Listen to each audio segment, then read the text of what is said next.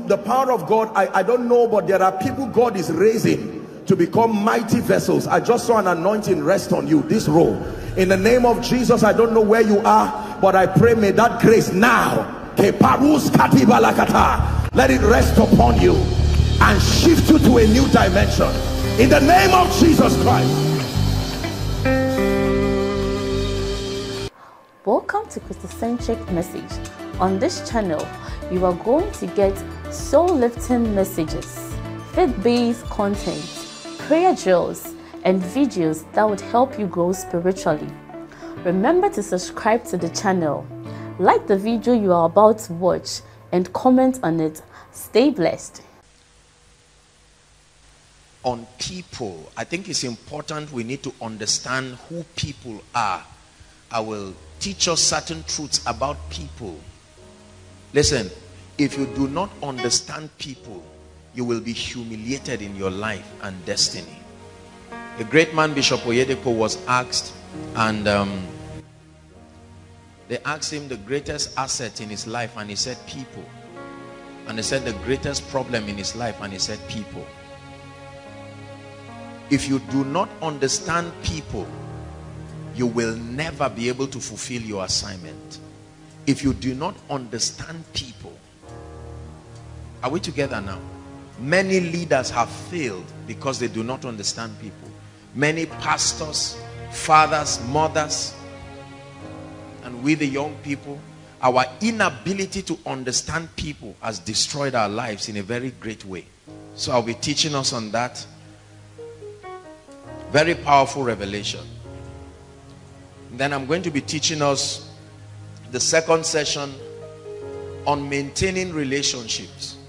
It's a powerful revelation. I'll be sharing with us a few keys that I have gleaned from the lives of absolutely phenomenal people and some of the truths that the Lord has opened my eyes to. And this will include love relationships and relationships generally. And then number three, the Lord inspired me to answer certain questions. You know, God just put in my heart many questions that many people will be having. And I called that session, What Could Be Wrong? The third session, What Could Be Wrong? So I put a number of points. What could be wrong if nobody is asking you out? Are we together? What could be wrong if every relationship you lay your hands on does not work? What could be wrong if your marriage is on its way to being shattered? So I know that the Lord will bless us tonight in Jesus' name. Let's start off media. I'll need you to help us on this. I want to share with you seven, I call them seven great scriptures that guide friendships and relationships because the foundation of understanding people. Listen please. The foundation of friendships in the kingdom the foundation of relationships in the kingdom must be tied to an understanding that is revealed to us from God's word. Not just understanding that westernization has brought not just understanding that our cultures have given to us. And there are seven great scriptures are found in my own pursuit to understand people, understand friendships and relationships that I think will bless us. I won't dwell so much there because we have a lot and I really need us to finish this and do so in good time. So I'll give you the scripture media. When I give you the scripture, I will give you the next one so that you help us. And then I'll just explain the scripture. Every one of these scriptures give us guidelines Scattered within them are principles that help us to excel in friendships, relationships, and to understand people. Praise the Lord. Okay, so we'll start off with Proverbs. Um, we'll spend some time in the book of Proverbs. Proverbs chapter 27, verse 17. Proverbs 27, verse 17. While you're projecting that, our next scripture will be Proverbs 17, verse 17. So media, please help us. Proverbs 27 verse 17 and Proverbs 17 verse 17. Let's look at what it says. Everyone please read. Proverbs 27 verse 17. One, two, read.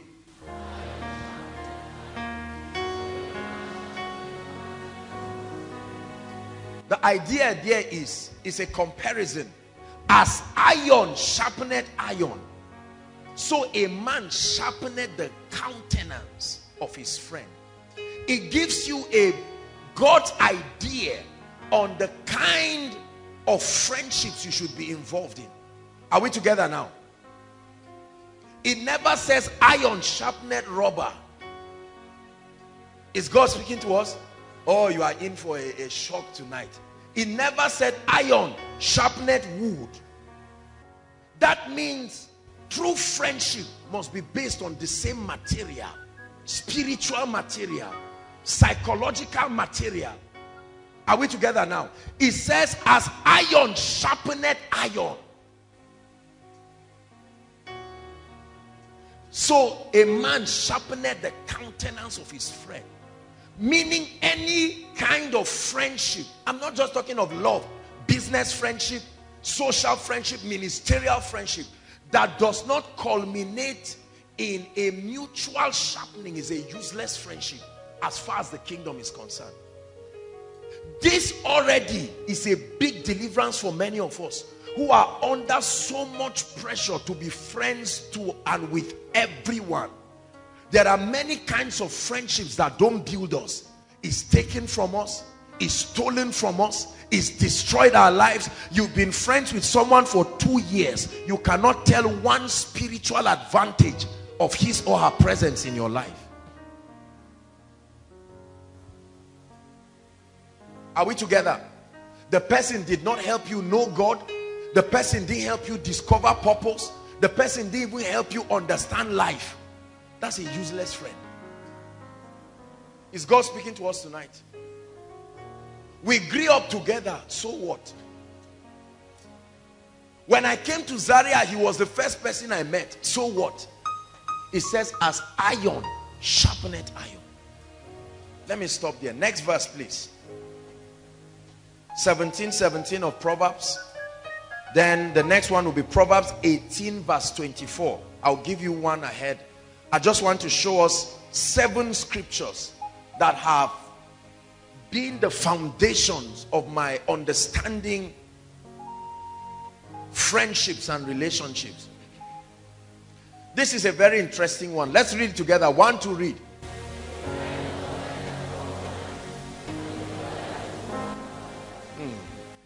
A friend loveth at how many times? How many of your friends have done that? The ones you call friends, destiny friends. The ones you claim you can die for. The Bible says a friend, a true friend. Can we have amplified, please? All through, let's let's see how we can work with amplified all through if that is possible. It says a friend loveth at all times. In other words, a true friend any man you call your friend should be someone whose commitment to you is not dependent on circumstances. I'm not talking of love relationships yet, although that applies to it. A friend loves at all times and is born as is a brother for adversity. In other words, friends, part of the benefits of friends is to be sources of encouragement and lifting. It's a terrible thing when a man is in the downside of his life and you look around, there is nowhere to draw strength. There are so many people in our lives today who are not friends. We have entertained them. We are wasting our time believing that they are friends. Let something bad happen to you. You will never see any one of them. Yet some of us will not come to church because of those people. Yet some of us are now losing the good friends because we want to maintain those people. As you are watching this, I'd like you to begin to look at all the people in your spheres of influence who you call friends indeed, whether or not they meet this criteria. The Bible says a brother is made for adversity.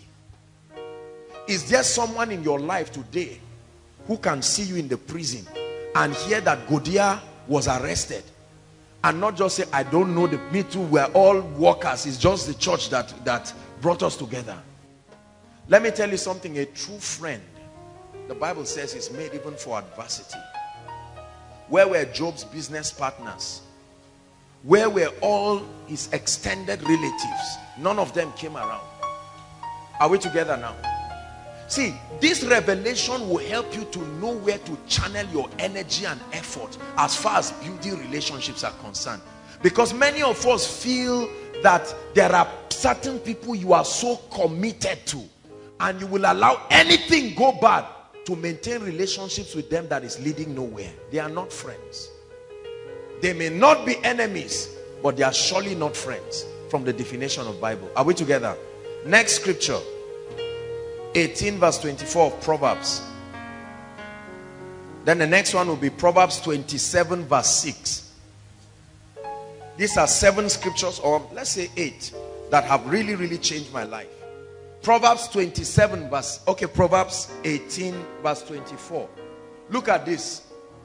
Hello, celebrities, social people, those who rejoice around. In everybody likes me. I just have one kind of spirit. Listen to what the Bible is saying. Are you ready? One to read. The read it, read it. I mean, it's not me, it's not my book, it's in the Bible. One to read. The man of many friends, a friend of all the world, will prove himself a bad friend. But there is a friend who sticks closer than a brother. Listen, let me explain what that means for you. If your life is not uncommon to drive certain kinds of people, that means you don't have values and principles. Anybody sees the template of their life in you when a smoker sees you, he sees something, he sees a connection between him and you. Are we together? When somebody who has no value for the things of, you are like, you know how a universal charger, you, they, uh, they, they call that, that, you can put any kind of phone, any kind of battery. Some of us are like that. And we think because everybody is comfortable around us is a sign that we are good friends. Hear what the Bible says. You will eventually prove yourself to be a bad friend. This is a friend that has no standards. This is a personality that has no values. Meaning, if you come to church, you behave like a Christian. If you go to a place and they serve Gulder, say, drop my own. I mean, I'm a social, I'm okay, I'm all right. You go to where people are not serious Christians, you say, what's there? I mean, don't feel bad about this. All right, let's let's let's dance to it. You seem like you are a friend of everybody. The Bible says it's a sign that something is wrong with your life because there are no standards. Something in your life must attract some people and drive other people. Now, I don't mean to I don't mean to insult uh, people and don't feel bad. Life is in levels. But there is a soap that I hear they bath with and wash with. Listen, listen. Now, don't feel, I said, don't feel bad. God is taking everybody in levels. So don't feel offended if that's what you use. But I'm just trying to communicate something. You bath with, wash your clothes, try to clean out the stains, and then in your body too. I I respect those who produce that soap. If you are working with them, please accept my kind apologies. But I'm not a doctor, but I can tell you this. That soap will not give you the best in terms of quality. Are we together? Because you and your clothes are not the same.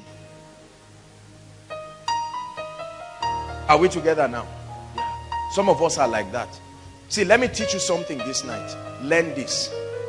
If you are afraid of being controversial, forget about being a leader. It takes the courage of being controversial to become exceptional in life the reason why many of us find ourselves in useless friendships, friendships that don't make sense, is because you want to agree with everybody. You, you don't have the courage to look at people and say, no, no, no, no, no. I love you, but this understanding is not consistent with my ideologies. So a roommate comes into your room. She loves God. You love her too. But she says, let me gist you what happened in Jaji this weekend. Hey, just sit down. And he said, no problem. And while you are gisting, someone calls you and say, you know that it's time for prayer band meeting. And you say, I'm coming. You see. So to you, you don't see the difference. You can enter and stretch for two hours shouting till you lose your voice. And, and just call somebody and say, where are you now? He says, I'm in PZ. What, was the name of that club? Eh, what's, come and tell me. I don't know it. TJ Palace. No, now mate or something. Yes. It's okay. I know you used to go there. No, no, no, for evangelism, not for. I know you go there for evangelism.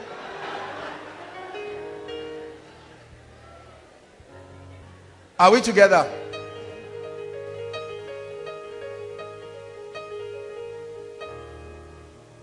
Men with no standards.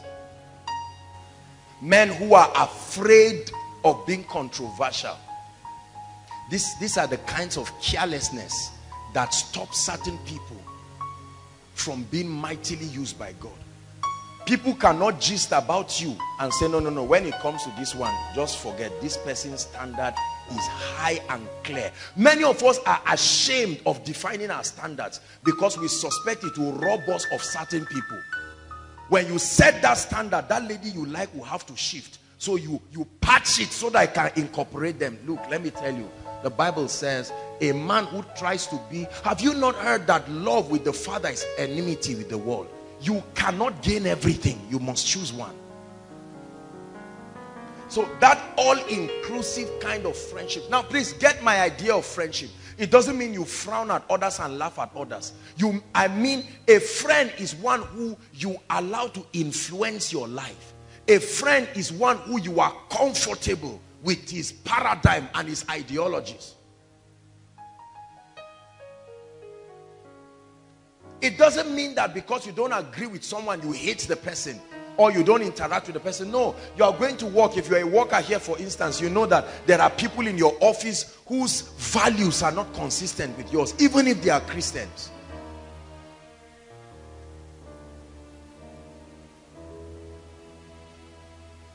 You must have standards. 27 verse 6, please, Proverbs. Then the next verse will be John 15 verse 13. Are you getting blessed already? John 27 verse, I mean Proverbs 27 verse 6 and then John 15 verse 13. Now listen to what the Bible says. Let's read one, two, read. Inside and outside. One, two, read.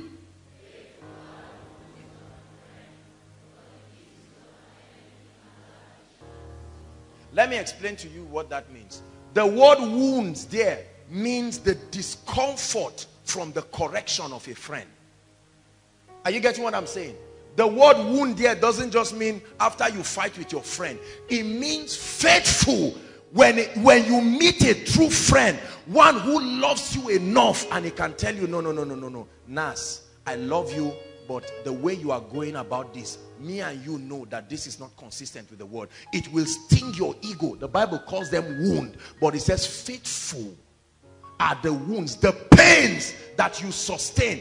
A friend is even ready to risk his friendship to make sure you excel in life. That's a true friend. In other words, if after telling him the truth, I lose out on the relationship, no problem. But at least I'm not talking about truth that is cynical.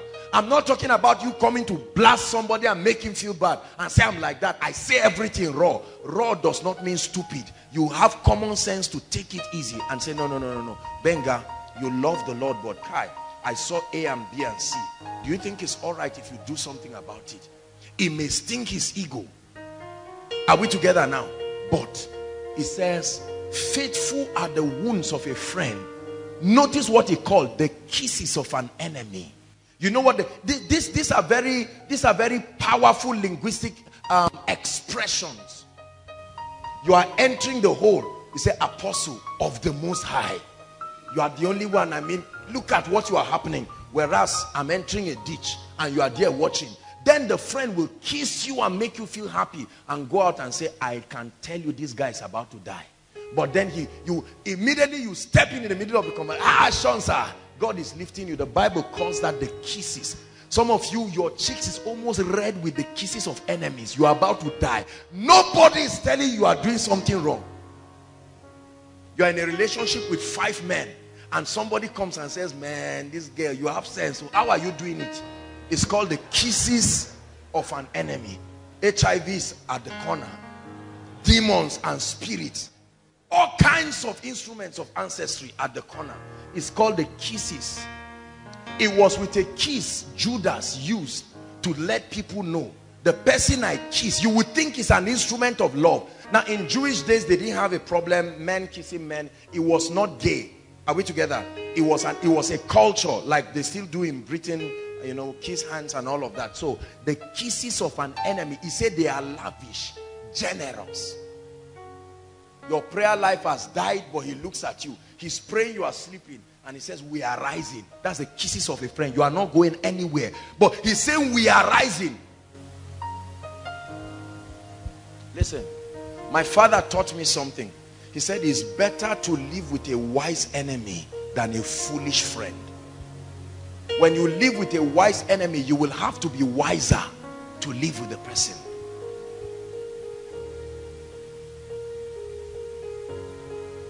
Faithful are the wounds of a friend.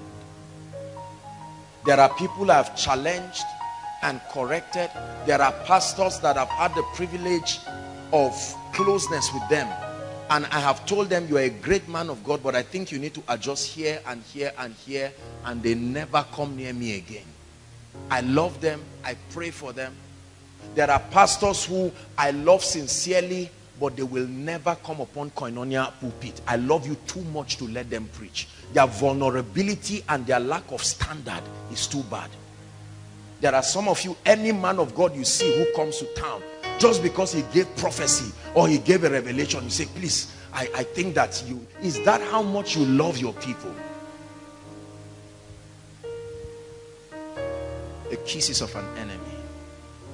You finish a ministration and someone comes to kneel and say, Abiodun, in night. Somebody sent me a very interesting text. You know what the person said? He said he wanted to sow a seed into koinonia. And he said man of god you are the only one who is raising disciples in nigeria. He said other listen listen. He said other men of god are what, did he even say? Other men of god are just raising money. That's the, the, the, the kiss of an enemy how could such a man with the mighty work god is doing I mean, men and women who have pledged their life inconveniencing themselves to see the kingdom advance. Some of you, as, as ridiculous and sarcastic as that statement is, you like it. You will embrace it and live in that deception. How could you be so deceived like that? It's called the kisses of an enemy. You preach misquoted scriptures, said a lot of things did a lot of things, insulted people in the process, allowed your carnality to override the stage. And at the end of it, your friend looks and says, my brother, what happened in today's meeting? It's called the kisses of an enemy. Please listen to what I'm saying. You must begin to respect people in your life who love you so much. Even with tears in their eyes, they can tell you the truth. They will guide you into the path of truth. Now, I'm one person who by nature, surprisingly, did you know that all this shout shout you see ends on stage here? It's because of the apostolic anointing. As a person, I am incredibly soft. You will be amazed. Some people think I'm not emotional. I am. Are we together now? Go ahead. Look at you are laughing. You can't believe it. You better believe it. Those who are close to me know. But I can laugh with you one moment and while we're in the middle of a celebration you violate a kingdom principle and I look at you and I see how many other people will be misled from that paradigm. You are going to receive it right there. Are we together? You that change is important. So if you love your destiny you will love me. Some of us hate anybody that can correct you. Now I don't mean in anger but somebody that has the courage to say my dear listen I think you need to work on this. You you were calling and talking with someone. You just told a lie. You lied that you're in kaduna. If you don't like him say you don't like him. Why say ah, officer i'm in kaduna and then you laugh and say ah, you are smart. You are not smart. It's called the kisses of an enemy. And listen listen listen listen. A friend who partners with you to do evil will do evil against you the phone and lie for me the day it collides with our own personal interest, you'll be shocked. Next, we have a lot to do. I mean, this is an appetizer. We're about to lift up. John 15, verse 13. Then you will go to Luke 6, 31. That's, that will be the next scripture. I said 7, but I'll, I'll give you 8 technically. John 15 verse 13. Please write it and look up inside and outside. Those outside, are we together? Say amen. God bless you. Okay, let's read. One to read. Uh-huh.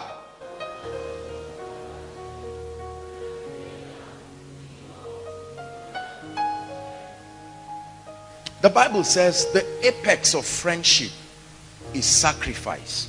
I'm giving you the interpretation of all this English. The apex of true friendship is sacrifice. How much you are willing to inconvenience yourself, if need be, to see the other party excel. Greater love had no man than this.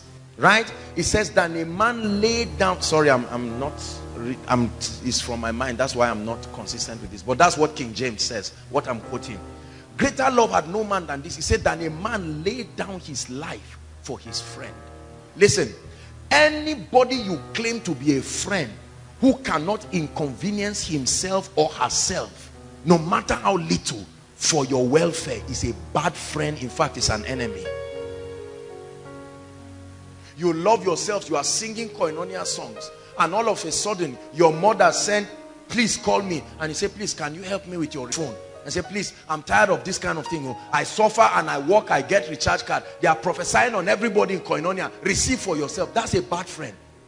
You were rejoicing together, but your mother sends an emergency call and the person cannot allow you take advantage of 50 naira. Listen, listen, listen. Be very careful.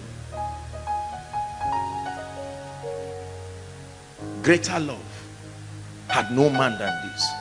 You are coming down from a bike and you found out that ah you misplaced your wallet and your friend too came down from their bike and he's going. He said, I'm going. He said, sorry, it looks like there's no more. Said, mm, no day, just finish your thing there. That's a bad friend. You may laugh about it, but the friend is already giving you signs. I am so addicted to my interest. If it means killing you, I will. That's the message. This even is a deliverance for love relationships.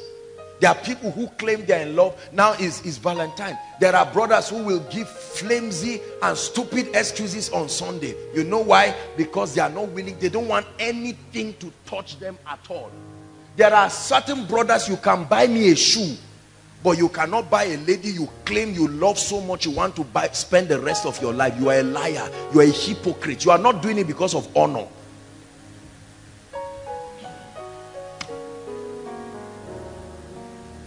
Greater love had no man than this. Look at your circle of friends.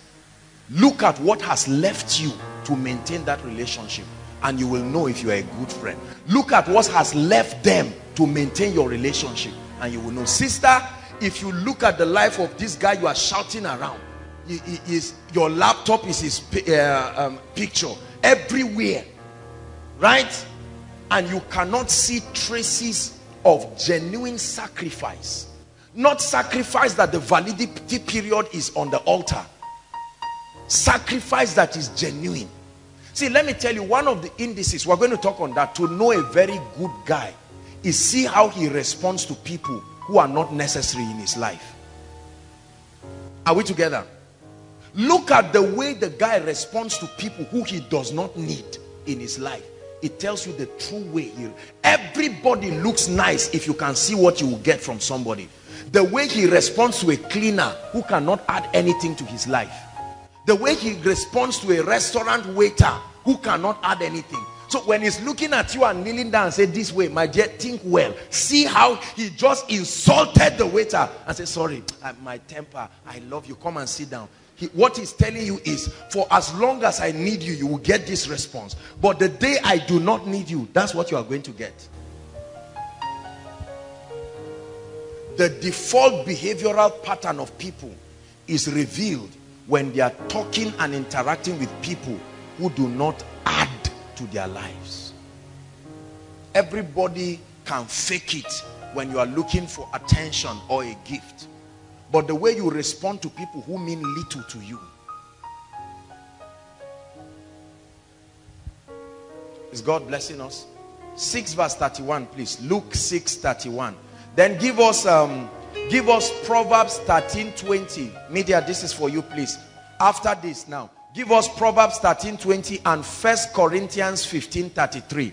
I joined two of them together because they are the same thing. That's supposed to be the last sets of scripture, but they are the same thing really in different ways. Proverbs 13, 20 and First Corinthians 15, 33. Let's look at Luke 6, 31. Everyone please read. One, two, read. Oh, come on. Let's read like able-bodied people. One, two, read.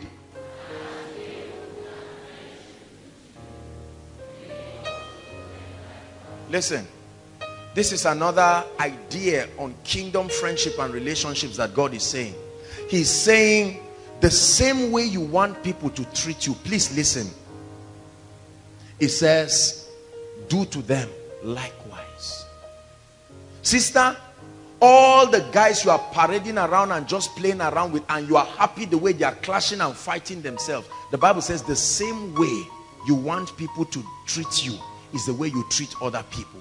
I have learned as a person never to do to people what I know I will frown out if it were done to me. Now, it's not easy. It's easier saying it than doing it because sometimes many things are unconscious. But you must have a determination. Never delight yourself doing things to people that you will frown at if it were done to you. We see the way some of our mothers treat the house helps in the house. Yet, that house help is somebody else's daughter. Are we together now? We see the way some of us treat other people. You see the way we pastors treat people. Right? And then we do not want the same thing happening. The Bible says, as ye would that men do to you. I know what I want men to do. I want people to honor me and honor what I represent. I want people to trust me. I want people to find a friend in me. I want people to pay attention to the truths that I bring because I believe that they are communications of the spirit. And I want people to believe in me and believe in the ministry. And because I want that, I will never take my mouth and be running another man's ministry. Are we together now? Yes. I'll not open my mouth and be calling pastors fake or do no no no no no no. I leave every judgment to God. I will challenge ideas, challenge ideologies that are not consistent with the word of God. But I will do to men as I would want them to do to me. I don't want any man coming and trivializing the grace of God upon my life. So I make it a point of duty to honor everyone. I don't enter a meeting and see men of God seated and now here comes Apostle Joshua Selman. And I rubbish them and make it look like everything. Oh, Nas, Benga, Abiodun, Shahoma, Nas, all these things you are saying. You are just teaching nonsense. Now sit down. No, I don't want that done to me. And so I will not do that to anyone. It's amazing how people hate the things they do to others. They will not be able to survive one tenth of the things they engineer to happen to others. For instance, you are in a relationship with a brother and maybe you were supposed to have an appointment and he could not make it. And let's say he was careless, he didn't let you know, he wasted your time. Hear what some of those bad friends say. See, show this guy. I've, been telling you, show this guy. Whereas that same lady will be in a relationship and something little will happen and she will come back boiling. Listen, don't you ever do or advise people to do things that you know you will not want for yourself or for your loved ones. I want my children treated well and I treat everybody's child properly. You never see me stand and say, oh, you are this, your, your clothes are this, you are smelling, you've not taken your bath. No, no, no, no. I don't want anybody doing that because everybody, we are all, we are all products of our environments. I don't know what people have gone through we're all seated here as our faces are different, so are our challenges. And I always want to make sure that when people see me, they have they have this idea that this is somebody who genuinely loves you and is committed to your growth. Next verse, Proverbs 13, verse 20. A big key. Write it and please look up. One to read. He that walketh with the wise shall be wise. It says what? But a companion of fools shall be destroyed. He that walks with the wise, the Bible says, shall be wise. Why? Because friendship is a platform for mutual influence. You imbibe people's ideologies. So it says, if you find yourself walking with wise people, it says you will also be wise. But when you escort people who are foolish, they don't know where they are going. You look at a lot of group, and, and, and I need to tell us this because this includes physical friends, social media groups. Are we together? Any organization of people who are going nowhere, you should have no business with. Some people just come and meet you and say, let's start a club. The name of this club is, is those who, I mean, all work and no play makes Jack a, a dull boy. Let's create a club. We rest on Saturday. We are just happy. Enjoy our lives. What is the work you are doing that justifies that rest? You don't know. You say, oh, are register. You now register, collect form, collect your ID card. You are in all kinds of useless groups that are not adding anything to your life. I'm a member, XYZ club. What do you do on Saturday? We rest. How old are you? 21. You are joking. You are really joking. Are we together now? There are all kinds of groups, associations, and body of people you should have no business following. The Bible says, He that walks with the wise. You have a friend that maybe you are roommate or workmate or, or whatever it is. You are together in the night while you are sleeping, he can tap you and say, My brother, I've noticed two, three days you've not prayed. I heard you saying a lot of things about issues in your life. Why don't you pray? And say, I've been feeling weak. He said, Don't worry, it happens. Let's pray. That's a wise friend. Somebody who you don't want to come for koinonia, I just say, I'm tired. I've been waiting. Nothing is happening. I say, Today may be your day. That's a wise friend. Are we together? Someone who sees you hug a lady and says you've been hugging ladies, but guy, today's hug is serious. Are you ready for a relationship or is lost? Which of them? So that we'll know how to help you. Say, me too, I don't know. Say, oh yeah, let's go and pray. That's a wise friend. Are we together? Not one who allows you until it backfires on you. That's a wise friend. People come around your house and you don't have money. You run and go and borrow money. You borrow 10,000 naira buy them juice, shortcake, and say everything. Say, look, this place, we are rich in this place. A wise friend calls you and say, but is he wise to borrow money and you are just spending on consumption? Don't you think he, he will just do what you have? If what you, I mean, tomorrow you can rise. That's a wise friend. You borrow 150,000 to buy a phone and your friend says, no, return the money. Be grateful with what you have. God will help you. That's a wise friend. Are we together now? You are loving a guy who is going nowhere. The friend calls you and talks sense to you and say, we have all seen this brother. We, we see his ideology, where he's going. He doesn't love God. He's not under authority. He doesn't listen. He's a God of his own. You see his temper. He's not even born again. And you sit down and say, maybe I was carried away. Age is not on my side. That's why I'm being sincere with you. And the friend says, I know. I understand that pressure. Let's pray together. That's a wise friend. Who will you call a wise friend in your life today? When you are about to die, the person said, fire on. And you crashed. That's not a wise friend. A wise friend is not a friend that you sit with and be gisting and gossiping about people. From the person is cooking, you are gossiping. You finish cooking, you leave the place there, you are still gossiping. It's evening, you say, "God, let's water this whole thing down with one nice movie and just rest. Oh, Jared, this life, sir. That's not a wise friend. Because the friend is eating up your time, though sincere. Is God blessing us? He that walks with the wise, I will never walk with foolish people. I mean business about my destiny. There are so many pastors who have met me. Apostle, I want to be your friend. And I don't reply them. I don't have a problem with them. I really love them, but they are not wise friends. I have seen the way they do ministry. Are we together? I've seen the way they manipulate people when the, the, a, a ministry has needs. I've seen them do a lot of things. I've seen their attitude towards ladies. They don't care.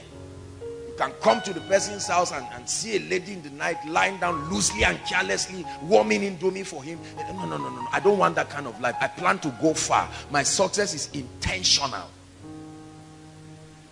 Of course, I love them. We will interact, but they will never be my destiny friends. Never. Are we together? He that walks with the wise shall be wise. Give us the last scripture, please. Thank you, media. First Corinthians 15, verse 33. It, it says almost the same thing in essence. Please write it and look up. One, two, read. Be not deceived. Evil communications do what? Corrupt. Please amplify it. Amplify it. Amplify it. Let's hurry up, please. We have a lot to do. Thank you. Are you ready to read? One to read. Read everything. One to read.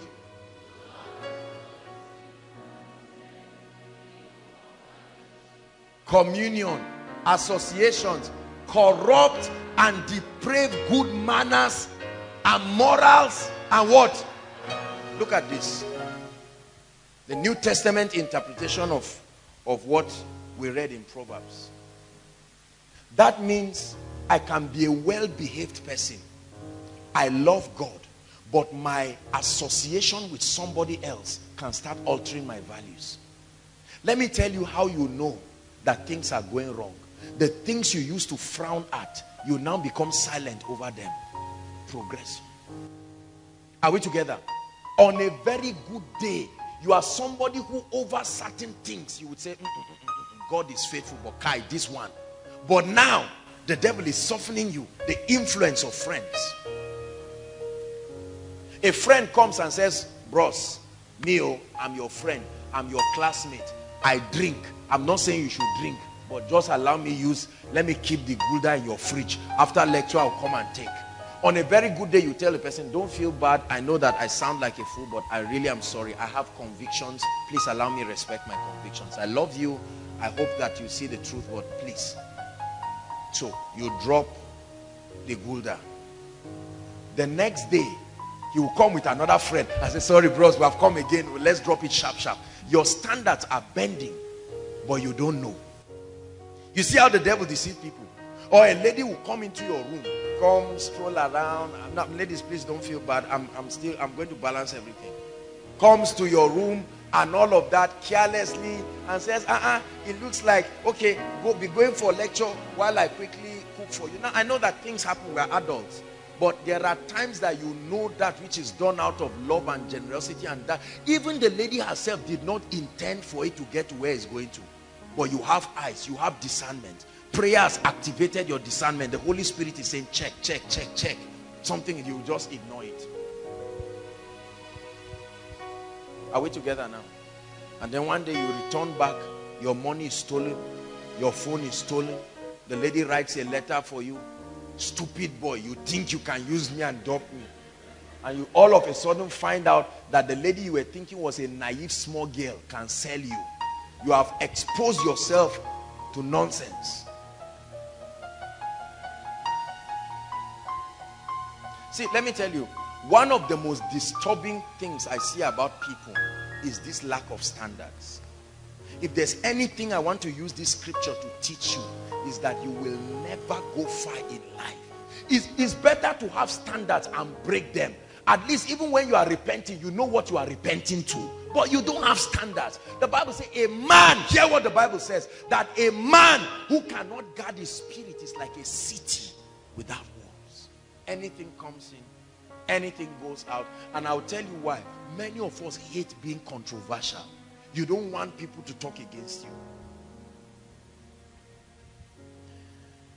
Hallelujah. As God blessed us. Before we continue, pray and say, Lord, I make up my mind to have standards. I'm realizing right now that I'm already allowing a lot of carelessness. I'm allowing things to just bend. Please pray, pray, pray. Lord, I receive fresh grace. Standards. Don't feel bad if you found yourself compromising standards. That's why God put this meeting. Lord, restore me. Let me have standards. I started with you as a man of discipline and standards, but I ask for grace. I ask for grace. let the weaknesses of my flesh not prevail against me i ask you for standards in the name of jesus christ yes i'm human oh god but give me standards standards hallelujah hallelujah now please listen very powerful revelation. I want to show you three kinds of people and three kinds of relationships you will find in your life. And this is according i'm classifying them according to motives. Please listen. Learn this tonight and be wise. There are three kinds of people you will find in your life according to motives every man who is born of a woman and is alive today you have these three people in your life and if you do not learn how to interact with these people, you will both deceive yourself and you will have unnecessary heartbreaks and pains. Are you ready now? Number one, the first kind of people or relationships you will have classified based on motives is this number one those who genuinely love you. Those who genuinely love you. In this kind of relationship or this kind of people you are the object of their passion. You are the object of their attraction. Not what you have. Not where you are going. Not even your destiny you as a person. Their commitment is unto you. Please listen their commitment is not unto you as a pastor their commitment is not up to you as a millionaire their commitment is not up to you as a man or a woman. Your person. You are the object of attraction. These represent the truest and surest form of people and relationships on earth today. Where you find someone who is committed to you as a person, not your skill, not your gift. So you are the object of attraction. Look at me and let me tell you a sincere truth. If you find 10 of these people in your lifetime, 10 in your lifetime, you are the luckiest man that has lived in our generation. I know you won't believe what I'm telling you now. Keep rising. And you will find out when you are 50 years, you will come back and say, Apostle, you remember something you said? I say, I remember it clearly because I said it out of conviction and experience. It is difficult to find a man, a woman who will commit their lives to you, not your vision. You are the object of attraction, not your accomplishments. And my prayer for you is may that person be your husband or wife. Because if it's not, if your husband or wife does not fall into that category honestly you have made it, you have entered into a realm of pain that only the spirit of god will comfort you. Job was the wealthiest man in the east. Listen. And for that no wealthy man grows wealthy alone. He must have business associates and allies political figures and all of that and the bible says when certain things happened to Job, the only person that stood with him was his wife. Even her, she communicated her frustrations, you see, cursed God and died. But at least she was a wife that stood by her husband. Three examples of this in the Bible. We may not have time to go there. Just write the scriptures. First Samuel chapter 18 verse 1 and 3 tells us the story of David. Let, let's let's at least let's look at that one. First, First Samuel 18, 1 to 3. The story of David and Jonathan. Right? David and Jonathan gives us a picture of these kinds of people in your life. First Corinthians Okay, first Samuel. Listen, it says, and it came to pass when he had made an end of speaking unto Saul, that the soul of Jonathan was what? Knit with the soul of David. And Jonathan loved him as his soul. Just stop there. Do you know what it means for a man to love you as himself? He has entered. When you read down what we have to say because of time, he entered a covenant. It was a covenant of friendship. You will hardly find these kinds of people in your life. Example number two Ruth chapter 1, verse 16. Just give it to us, media. Ruth 1, verse 16. The story of Ruth and Naomi. An example of these kinds of people and these kinds of relationship. I'll read. And Ruth said, when Naomi asked and said, please leave. I can't give birth to children for you now to wait for them to grow so that you will marry them. And here's what Ruth said. Entreat me not to leave thee or return from following after thee. It says, for whither thou goest, I will go. And where thou lodgest, I will lodge. Here's what he says. Thy people shall be my people and thy God my God. May God bring this kind of people to your life.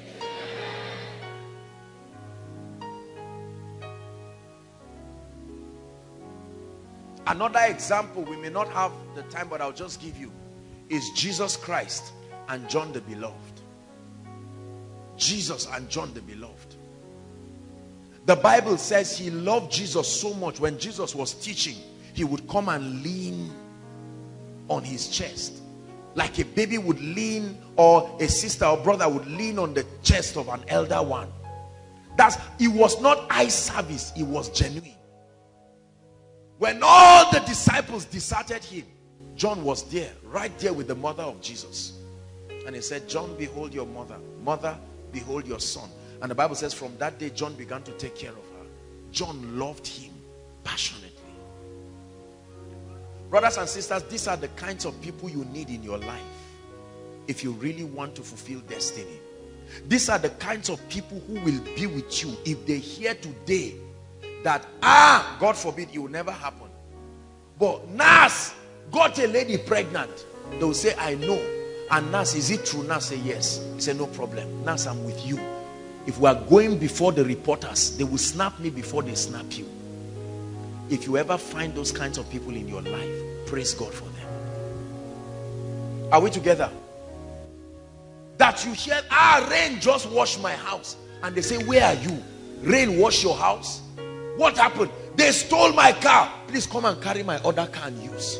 He said, you just bought the car. He said, what is the car for? I love you more than the car. Come and take it and use it. There is one, I would divide my house into two. I would plead with my wife for us to move and you will stay with us for three months before you get another place. Friends. Please pay attention to what I'm saying.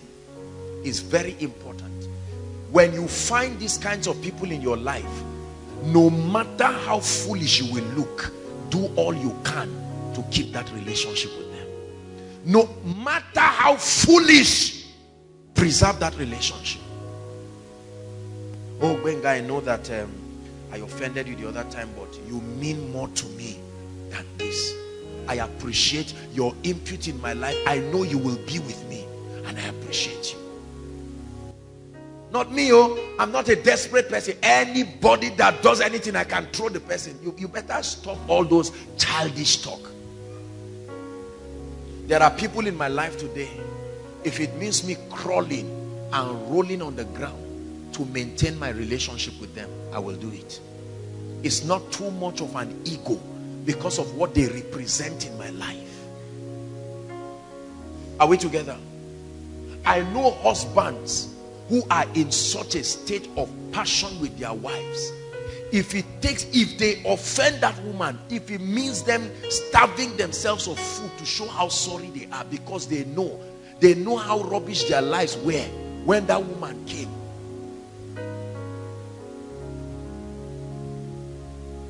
You are listening to me right now. God is giving you wisdom.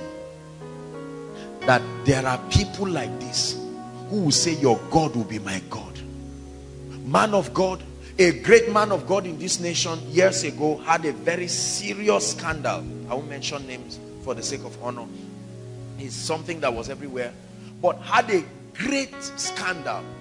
And one other man of God who had been his friend, they had grown together. that man you know sometimes when you really love god and you find yourself in something that is very embarrassing it can break you it will take the grace of god for you to be restored they had to come together as friends to just tell him look go down to a particular country and just go and rest and have some time with god did you know that that man of god was ministering both in his church because that man of god's church was at the verge of scattering people you know what happens when there are things like this and this man of God came and put his reputation on the line to tell all people, look, I know that your pastor did this, but I know him. He's a man of great integrity. Forget what happened. I stake my reputation to endorse him. That's a friend. That's a true friend. Are we together now?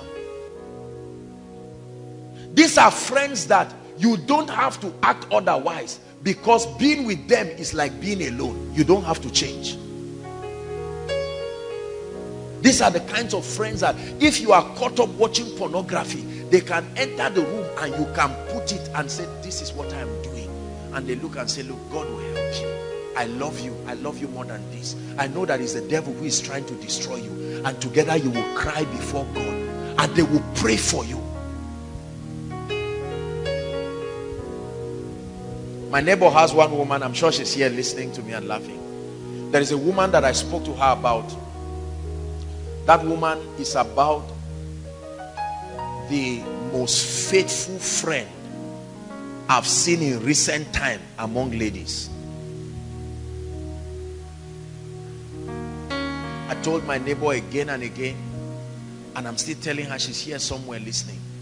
I said, keep this friend because this is a true friend there was a day that the woman came to her house came to her place and my neighbor was not around i'm not sure the woman knew i was around when she i don't know if the room was open i can't remember the story. When she entered it my neighbor was not around but i was hearing her. She knelt down and began to weep.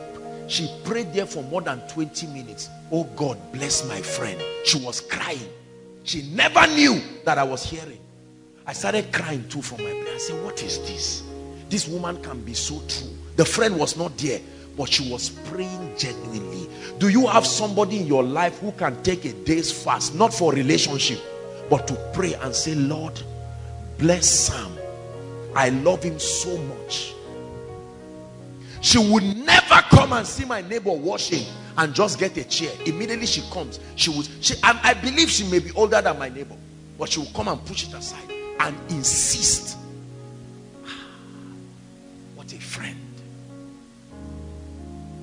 Is God challenging us? My prayer is not that you only wait for friends like that, that you make yourself such a friend. Are we together now? Because some of us are far from this. Our idea about friendship is so bad. You are far from this. This is my goal. To become a true friend. That I love people above and beyond their being necessary in my life. There are people today who do not add anything in my life, frankly speaking. But most times I spend time following up on their lives. I can travel from one place to another just to be able to see them. How are you? How is your family? They may not even appreciate it. But I want to be that kind of friend. Tonight, you can make up your mind that I must be this kind of friend. I must. At least not to everybody, but to somebody. And the place to start may be your home or your relationship. Number two, the second kinds of people and kinds of relationships that you will see in your life. Please pay attention. God is taking us somewhere. Those who love what you represent, those who love what you have, those who love where you are going. Those who love what you represent, comma, what you have and where you are going. Their commitment is not to you. Their commitment is to your gift. Their commitment is to your vision. Their commitment is to your destiny, not your person. For the way of the Lord is the way of wisdom. I choose the way of the Lord. So these friends, listen. Now, the dangerous thing about these friends is they act exactly like the first category. The only difference is motive. Everything this first category of people who genuinely love you do, they also do. But they do it because of a vision. They do it because of a gift. Now, they are not dangerous people. They are just a class of friends. Are we together? Because you are like that to somebody too. I am like that to somebody too. I'm just showing you classifications of friends based on motives. So you come for koinonia and you find a very visionary and impactful ministry and you plunge into the vision. You are this category. So for as long as koinonia remains visionary, for as long as we remain purpose driven, you are connected. So the person is not your business, is the vision. Are we together now? Listen, let me tell you where these kinds of people are dangerous. They are dangerous because they love you and they are sincere, but they hope that your diligence and your vision will also help them achieve their own. Are you seeing the basis of their partnership and their participation? They will dump you anytime they find an a faster alternative. They are so driven by the vision, they don't care if you die in the process, so long as the vision continues. Are we together now? Most of the people you will meet in your life, hear me, most, let me give you the, let me tell you the truth, 85 to 90% of the people you will meet in your life, they are not bad people. But this is it. Your gift attracted them. They will call you names. You will eat together. You will pray together. You will cry together. Occasionally, they will even make sacrifices for you. But the truth of the matter is the fundamental motivation. Their attraction is to a thing, not a person. Hear me. This is the reason why many relationships suffer. We're coming to that. You were attracted to a gorgeous, beautiful looking lady. I mean, you just came into Koinonia and you just looked at a lady and my goodness, you were looking this way, but something attracted you and you look and see the lady is trying to hide her face. See me looking at her. Are we together now? Ah! This lady is fine. And say, Benga, I saw something. Ah! Benga, come, come, come. Let's talk. Say, I've come now, Benga. After Koinonia, I'll be watching all the ladies that pass. You see that lady? Blue, the other one. She's the one. And Benga says, Ah, no, you have eyes. Now, listen, listen, listen, listen. There is nothing wrong with that. But the point is, the object of your attraction, what keeps you awake when others are sleeping, is that beauty and figure eight. There's nothing wrong with that except that there is there is there is serious trouble and serious danger. Because your commitment is to the shape the form not the person. Is god speaking to us? Or you see a guy comes and you admire his dress sense you admire his composure. He speaks well he behaves like a leader. I say i like this guy. I say why? I say this guy is just a leader. Wonderful. There is a possibility of backsliding. Are you aware are you aware that I can compromise my values? Then what happens to my person? Listen now. Their commitment. How many pastors move around saying, all my members love me. They can give up anything for me.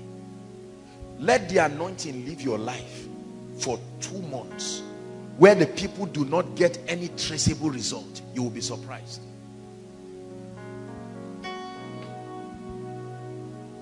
Are we together now?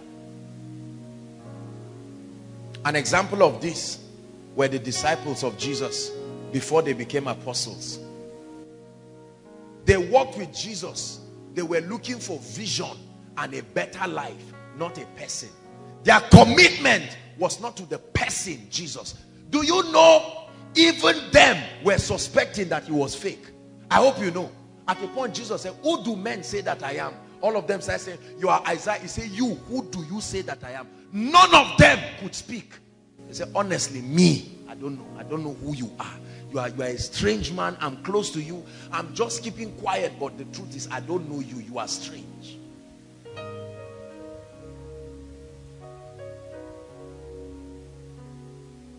How many PAs of men of God move around? The men of God keep moving around and think that these are the confidants. Whereas these are the ones who can sell them and destroy them. How many people, a woman who marries a husband and you hear, or a husband who marries his wife, and you hear the woman talking about her husband and say, Mio, oh, I'm not a fool. I know why I married him. If he dies, that's his cup of tea. She's committed to what?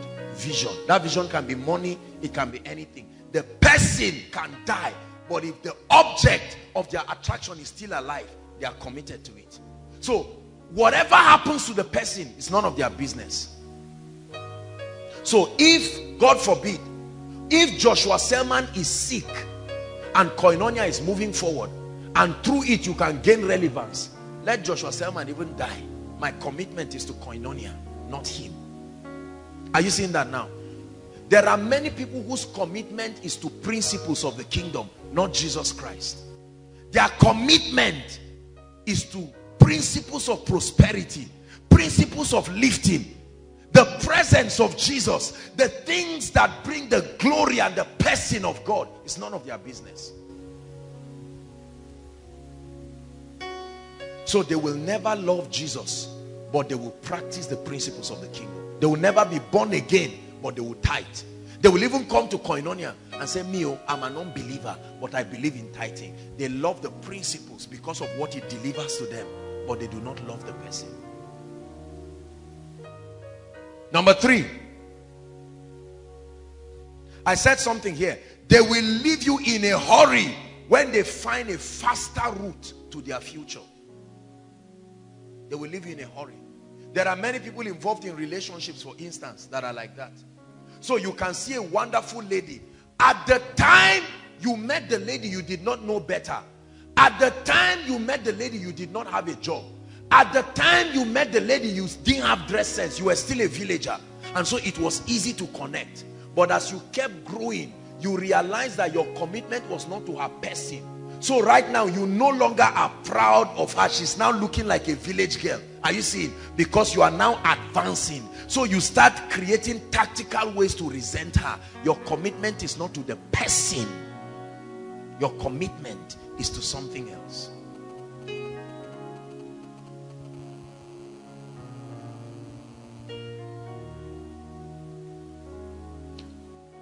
Let me show you something. Psalms 55. Please, let's rush. Psalm 60, Psalms 55. Verse 12 to 14. Psalm 55. Please look up. Let me show you certain possibilities that can happen with these friends. Ready? Look up. Let's read. Let's hurry up. For it was not an enemy that reproached me. Please give us amplified. Amplified. Amplified. Today we're working with amplified. He said, For it was not an enemy who reproaches me and taunts me. He said, Then I might bear it. In other words, the person causing me pain is not even my enemy. I would have been able to bear it. He said, Nor is he the one who has hated me insolently, who found himself against me. Then I might hide from him. Verse 13. He said, But it was you, a man, my equal, my companion, and my what? familiar friend. When I heard about the rumor, I thought it was my enemies. I got to a point where I would never believe that it was you who ate with me. Are we together now? He said, I thought it was an enemy. It's easy. That's their work. But you, how many husbands sacrifice their wives for money? Are we together?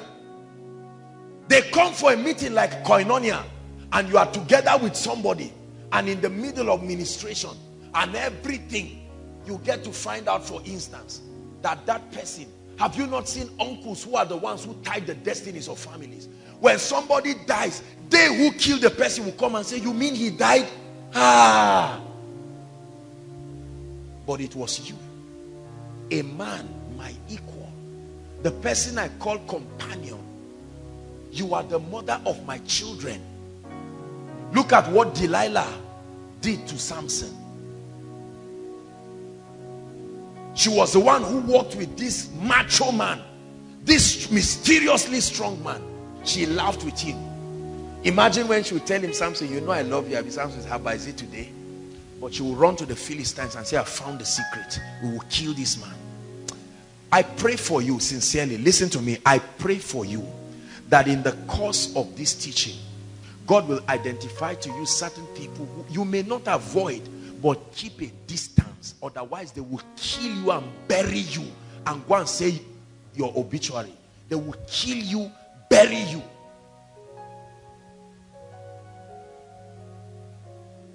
A police officer once told me a story of a boy that killed his father. He killed his father spilled the blood threw everything away and then he ran and was crying and called people that his father was dead it was later on that they discovered that it was the boy that killed his father. Why did the boy kill his father? Some money just came in for the father and he killed the father. Is it not the brothers of joseph that sold him? It's in your bible. Brother brother same. I mean you can imagine same father. May not be the same mother but at least same father. They grew up together and the brother said kai how do we kill this? They threw their brother in a well and you would think it would touch them they saw some people and they said let's make money from our brother look at judas trying to make money off jesus it was you a man my equal my companion, my familiar friend. We started this relationship together. I was happy, but I never knew that in your mind you were out to just destroy me. Number three, we have to run. The third kinds of people according to motive that you will meet in your life. Is God giving you wisdom tonight? those who do not love you nor what you represent but will partner with you to fight a bigger enemy for them listen this third category they do not love you they don't love your vision but they are confronted with an enemy that is bigger than them so temporarily they will come into partnership with you to help them fight a bigger enemy and then after that, they will return to their default position. Listen. Do you know the Pharisees and the Sadducees were enemies? We all study the Bible here. Is that true? Do you know that the Pharisees and the Sadducees never agree? One of their chief point of contention was the concept of resurrection. Are we together? But when Jesus showed up, Jesus was a bigger enemy than their personal differences. So they came together as a team to make sure they fight Jesus to death. We never see Pharisees and Sadducees struggling and fighting during Jesus' time. When Jesus dies, then their contention continues. When Paul the apostle shows up, they are busy fighting. In fact, he uses that as an advantage to bail himself out at a point. Listen, let me tell you the danger of this. All of a sudden, you will find out that somebody who hates you is trying to look for a job and you know the person to give her that job. So for that temporary time, she will come to you and be your friend for the sake. The person hates you but needs the access you have. So the whole attention is that other person, not you. Are we together? And becomes your friend. And in that process, you run your mouth thinking you are talking to a friend. This is what God is doing. Can you imagine that this brother asks me out and she's laughing? The whole idea. By the time that greater enemy is conquered, you will now say, why did I open my mouth to a wrong person?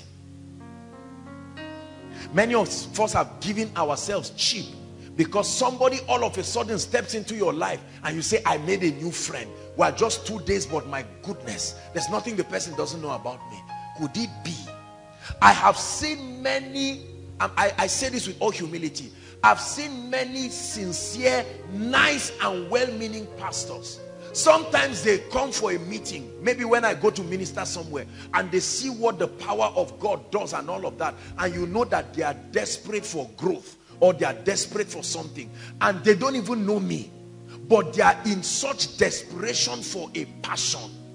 They now send me a text and say ah my covenant brother or man of God I want us to be covenant friends. And in my mind I say no no no I don't want to be your covenant friend. I don't know who you are. I don't know what your convictions are. I love you but you don't become friends like that to solve a bigger enemy to to fight and kill a bigger enemy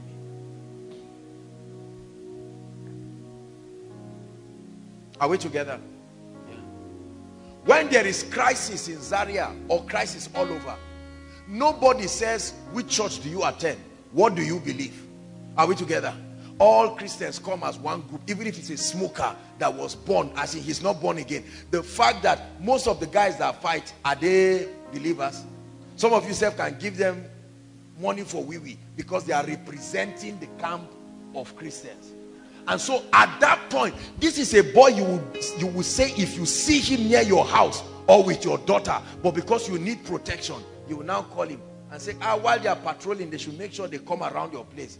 You now say, ah, gashinera deri, ashakunudeshi. You know what that boy is going to do with that money, but you give him. Because momentarily, you need that protection. The moment soldiers come and take over the place, and the next day he comes to knock, you will tell him, let me not see you in my house again. These are the third category of people. They hate you. They will kill you if they have room. They hated Barabbas before Jesus came. Barabbas was a thief. He was a notorious criminal. They hated him. And that's why they caught Barabbas and locked Barabbas so that they could have peace. But compared to Jesus, Barabbas became a friend. Are you seeing that? And they say, release Barabbas for us. We know he's a criminal. But we so want this guy to die. If it takes releasing Barabbas, let it be. Brothers and sisters, listen. Especially for those who are leaders. Every one of us will have these three categories of people in your life. They are not necessarily enemies. It's just how they are. They come with different motives. And if you do not have the grace to discern, you will cast your pearl before swine. You will reveal destiny secrets and things about your life to people who do not merit it. This is what many of us have done. Someone comes in your, into your life in 10 minutes. He knows about your father, your mother. He knows what your father did to your mother. In 10 minutes, he has entered your bedroom. You have shown him everything my father is even supposed to collect one check today. Can you imagine? See, I don't know what is making me just tell you everything. Foolishness. Let me tell you what is making you say it. I know what is making you say it. Foolishness. That's the name. Foolishness. Are we together? Many of us have given ourselves cheap today. There are too many people with informations about our lives that are not necessary because we did not discern what kind of people we did not let them qualify and grow into access to our lives i don't cast spell before swine no let me tell you something. If i call you my friend then you are my friend indeed. I'm not a difficult person but it takes standards. There are not many people especially men of god that i tell you this is my friend. I love people. I'm happy. I joke around with people. But I know people that I can sit down and discuss destiny things.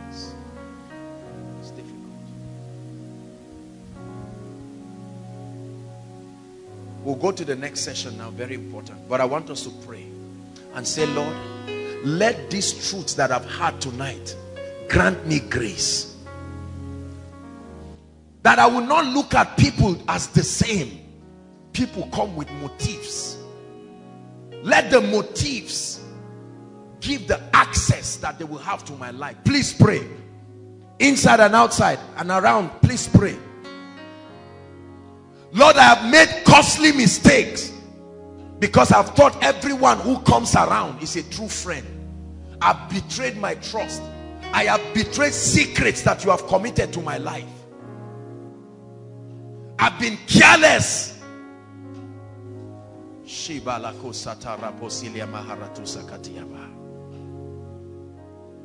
Those who love you, they are committed to you.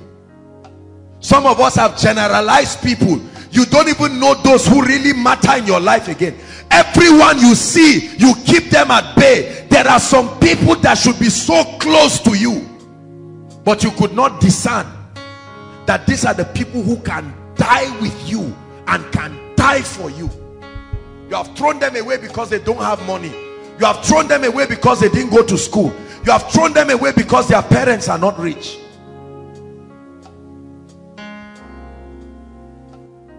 Lord, give me the eyes to see.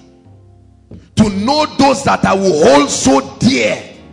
To know those that I will still be in friendship with after 30 years, 20 years. Hallelujah. Session 2. Right, please. Maintaining relationships. I want to teach you something very quickly because I need us to finish this. Is God blessing us?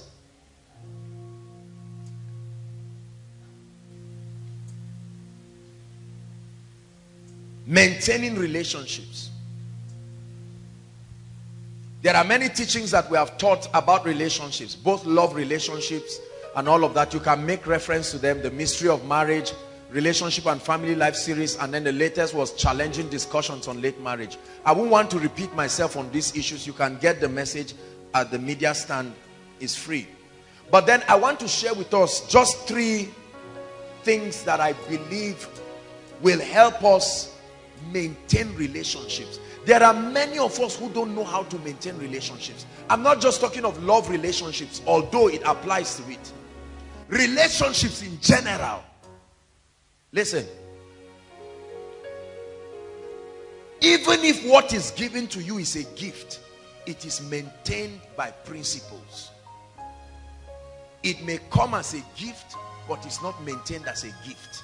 It comes as a gift, but is maintained by principles. And I want to show you certain things now. Hallelujah. Tabitha, come. Let me use her for instance. The first thing I want you to learn about relationships, and this applies also to love relationships. In fact, it applies majorly. Did you know why two people can be in a relationship? Listen, please. They may be nice people, but there's a lot of tension in that relationship.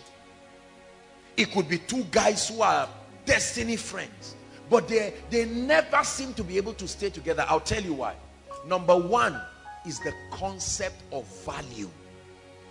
The first key, sorry, you're standing with me, you should be writing, but you'll get it. The concept of value.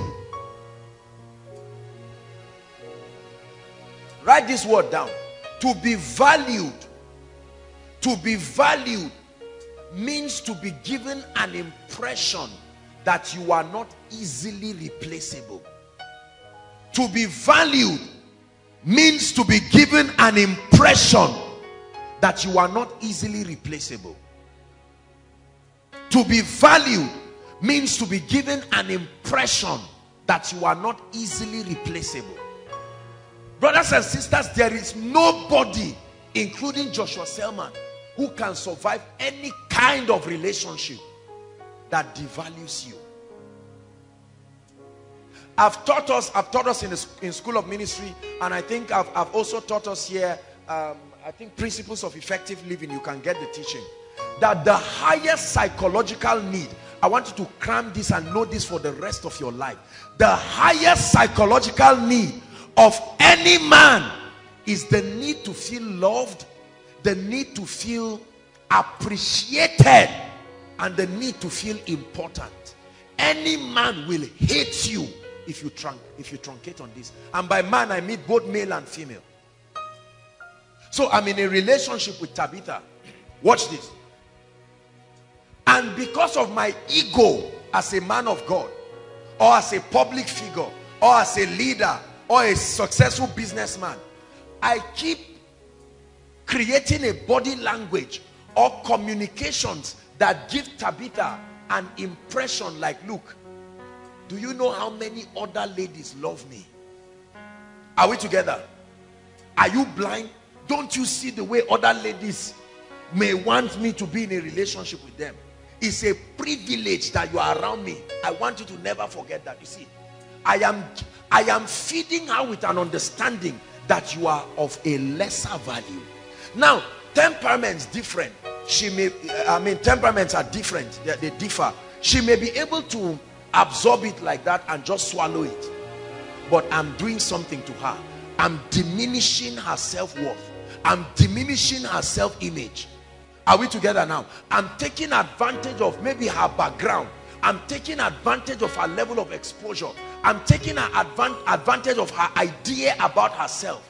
And I'm using it to boost my ego.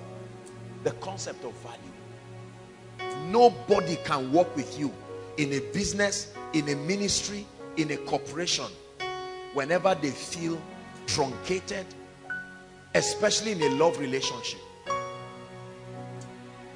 you see a lot of fathers, mothers, husbands, young people in relationships. They give that lady an impression that you are not valued. Or the lady gives the guy an impression. When you came to ask me out, there were 10 guys. I carefully selected and I selected you. So you see that kind of irrational idea. And so you give the guy an impression like you were selected out of many. So you better keep being a chaser for the rest of your life. Because I don't plan to commit myself. This is a relationship that is still shaky.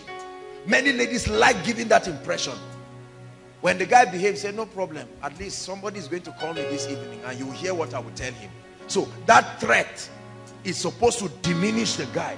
To make him look like it was just because he spoke to HOD technical and he spoke to me. That's why I told you yes. Don't think I just respect Nas need to say yes on a very good day. If not because of koinonia, who dash monkey banana?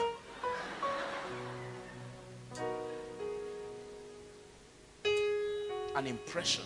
Listen. Some of us do it unconsciously, but you have to change tonight.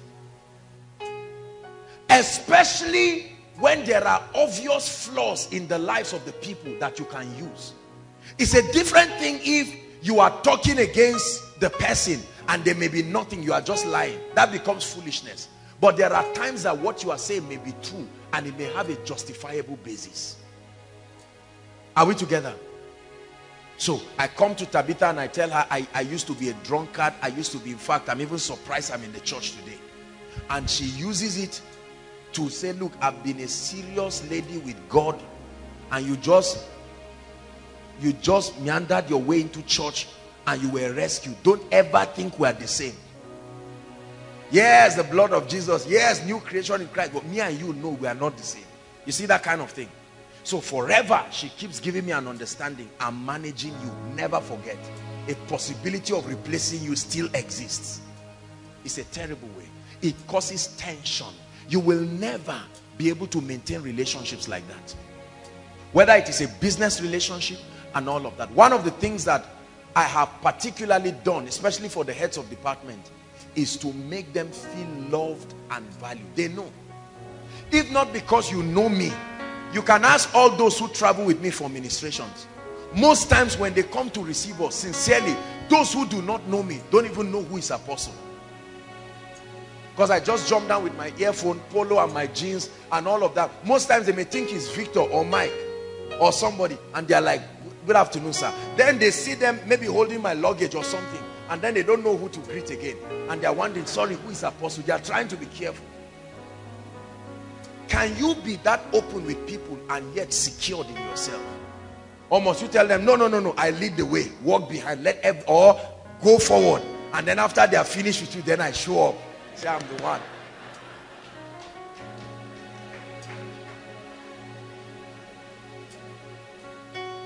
Wrong understanding that came from culture, we incorporate it into ministry. Are we together now? Yes. value. If you are in a relationship here, God is asking you a question tonight. Have you given your partner or your husband, not even a love relationship, it could be anything, business, ministry, like koinonia, have you communicated value? Whenever people stay close to you, whenever people talk to you, do you give them an idea that they are important? Especially when they don't have anything to contribute to your life. If I have something to benefit from promise, it's easy for me to treat him well. Because if I don't treat him well, I will not get what I want. But can you treat everybody alright? Some of you see the way I greet some of these our children that come around. You see all of them run and come to hug me.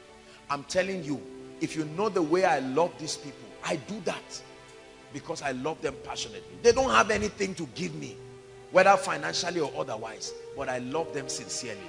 You see the way I greet people. I never look at somebody and I'm looking at his hand. Okay, I'm seeing you holding a brown envelope. This way, sir. And then you come and then the way I hug you, I say, I, I like if we have five of you in Koinonia, I'll be happy. Then the other one who says, man of God, even the transport right now to go down, I came from Gaskia. You don't want those kinds of people. Value. Value. Number two. Tabitha, I use you again. You have to be able to give people value, a sense of value. Number two, mutual honor. The second key to maintaining all kinds of relationships is mutual honor. Two-sided honor. Two-sided honor. Dr. Mike Murdock defines honor as a celebration of your uniqueness. Not just a recognition of it. An open and public celebration of your difference.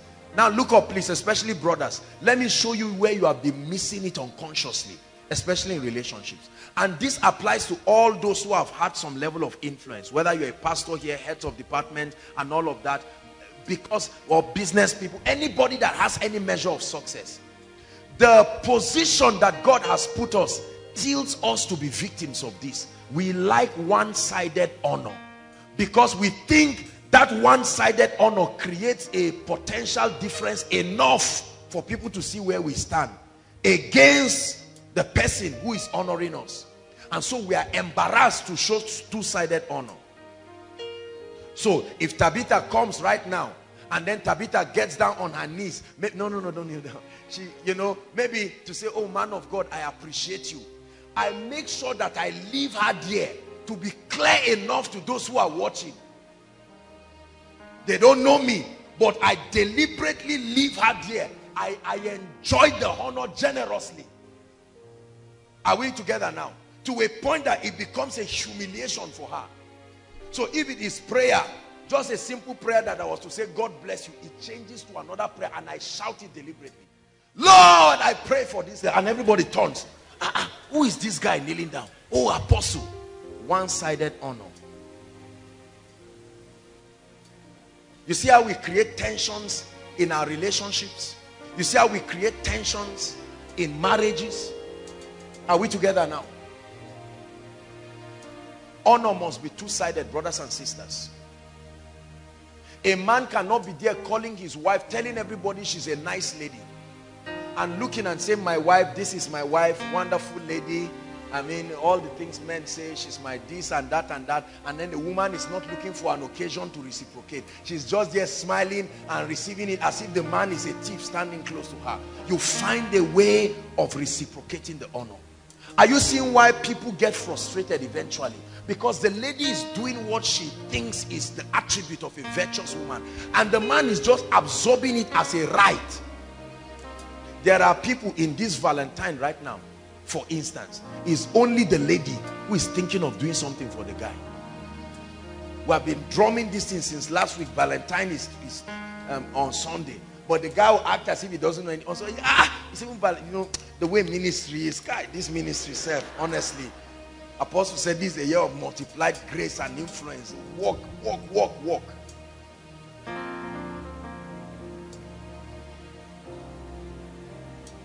Aside from relationship, what of mutual friends? I've taught the heads of department to love themselves and appreciate themselves. And you see that in their attitudes. They honor one another. If you see Benga treating Nas or Abiodun, you may look and think, ah, ah, why is this guy doing this? Then another occasion will come and you hear them. You see the way they walk. Listen, listen. I want you to learn this. Honor is mutual. True honor is mutual. Even when it's obvious that there is a gap, there is a difference, there is a disparity, you must create an occasion to honor them. During my birthday last year, this um, many of the, the, the children that are little ones that come to greet me, when they came to greet me, I appreciated them sincerely. And when I did, they wrote me a letter. They came together and wrote me a letter. Now, I'm not the kind of person who will sit down and be writing letters. But when I, I was so touched, and I said to them, they came together to do this. I had to write them a letter again to reply it and to drop. That was my honoring them. Honoring their idea of value for me. There are people who send me recharge card. Oh, man of God, you have blessed my life. You may not know me. And I respond back to them. I appreciate what you're doing. I truly, truly appreciate it. Every time we meet as leaders, most times I begin my, my talk with them by saying, guys, I appreciate you. It's easy for people to see what is happening in Koinonia and think it's just Joshua Selman and the anointing upon his life. But you are the ones who make things happen in the secret. And I appreciate them. Do you take out time to make your honor mutual? Or is it one-sided? Every time you are the one, everybody is saying this and that. Oh, oh, oh, Pastor Femi, ah, you have changed my life. And Pastor Femi says, are you joking? You, you, don't, you think I am just fasting and praying for nothing.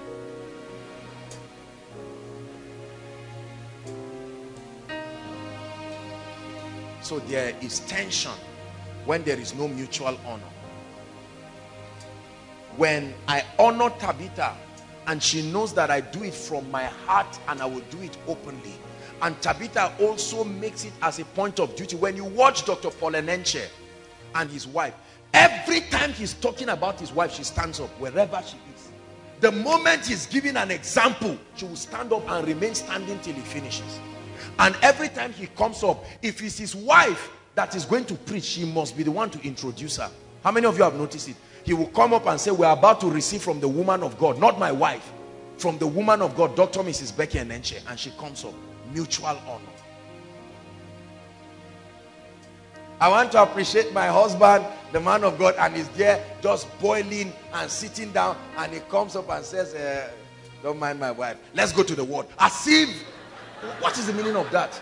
No, you take out time and you are generous enough. Not flattery, but let her know you appreciate. Let me tell you something. Listen, listen. Learn this, especially for great leaders. Every idea about your wife is a reflection of what you gave people. Are we together now? Every idea, if I belittle Benga, I belittle Abiodun or all the heads of departments and all of them there, it will transfer to them. You know why you honor them very much? You honor them because it was deliberate to create the platform. You dishonor me, they will rebuke you because they love me. And they know that I honor, I honor them. Are we together now? You must learn this. If you are embarrassed to honor your spouse, husband, wife, the person you are in a relationship, you are embarrassed.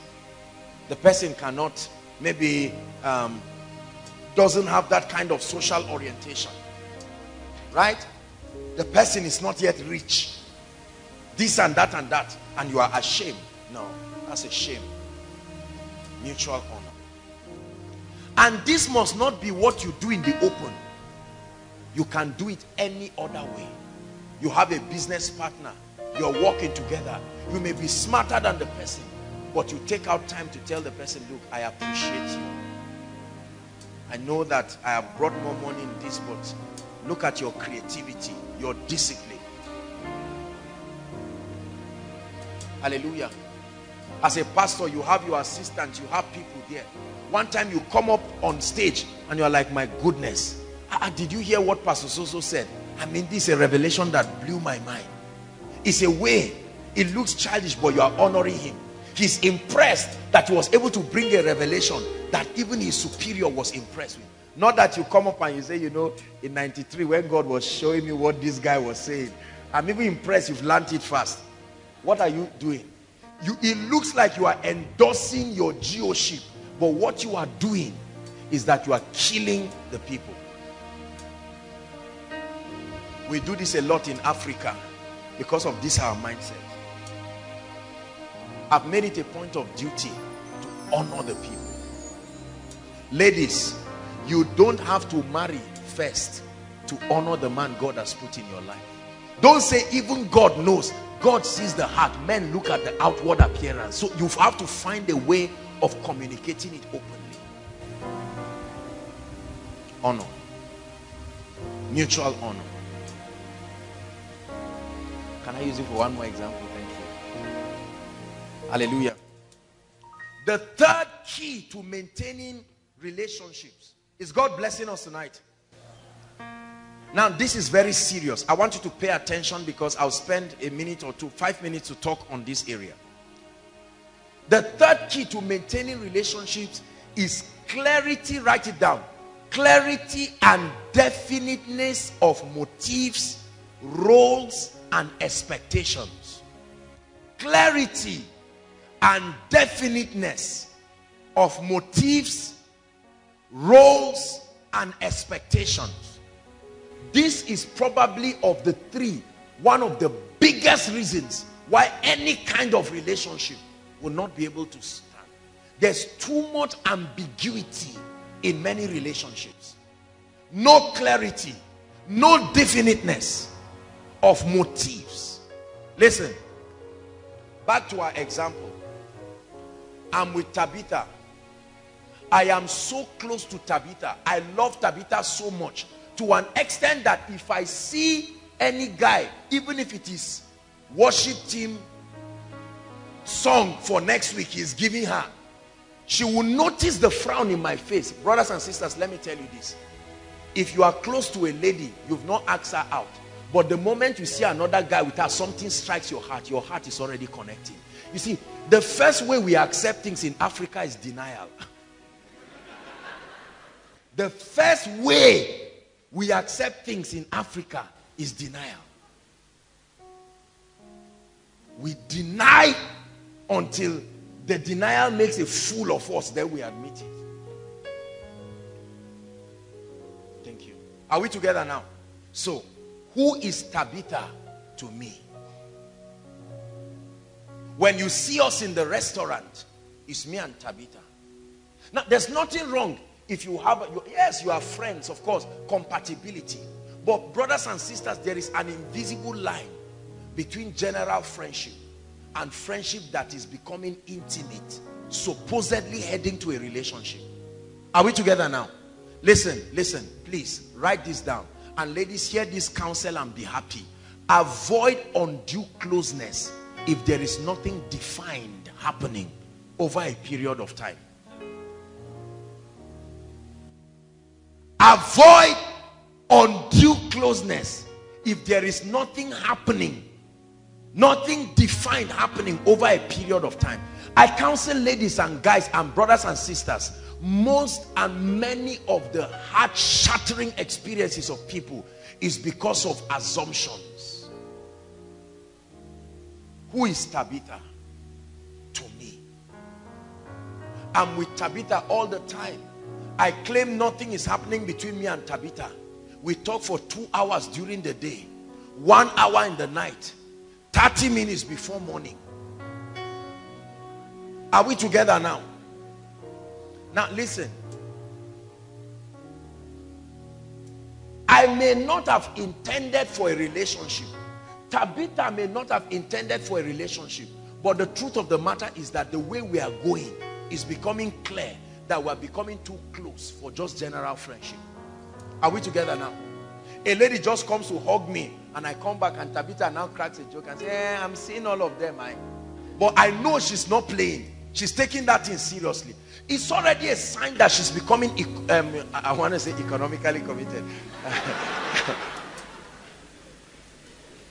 she's becoming emotionally committed.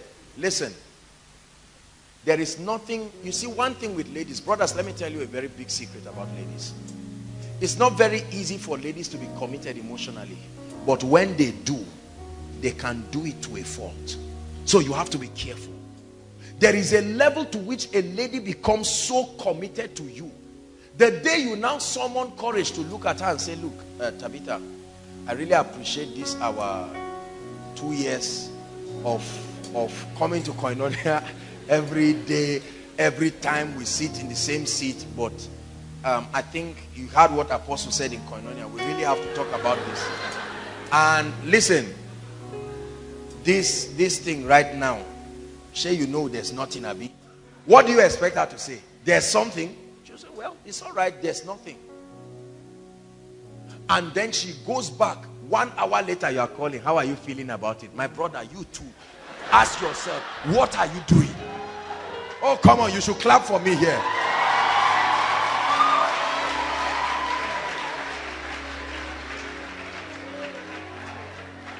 He leads me and guides me to the city up above.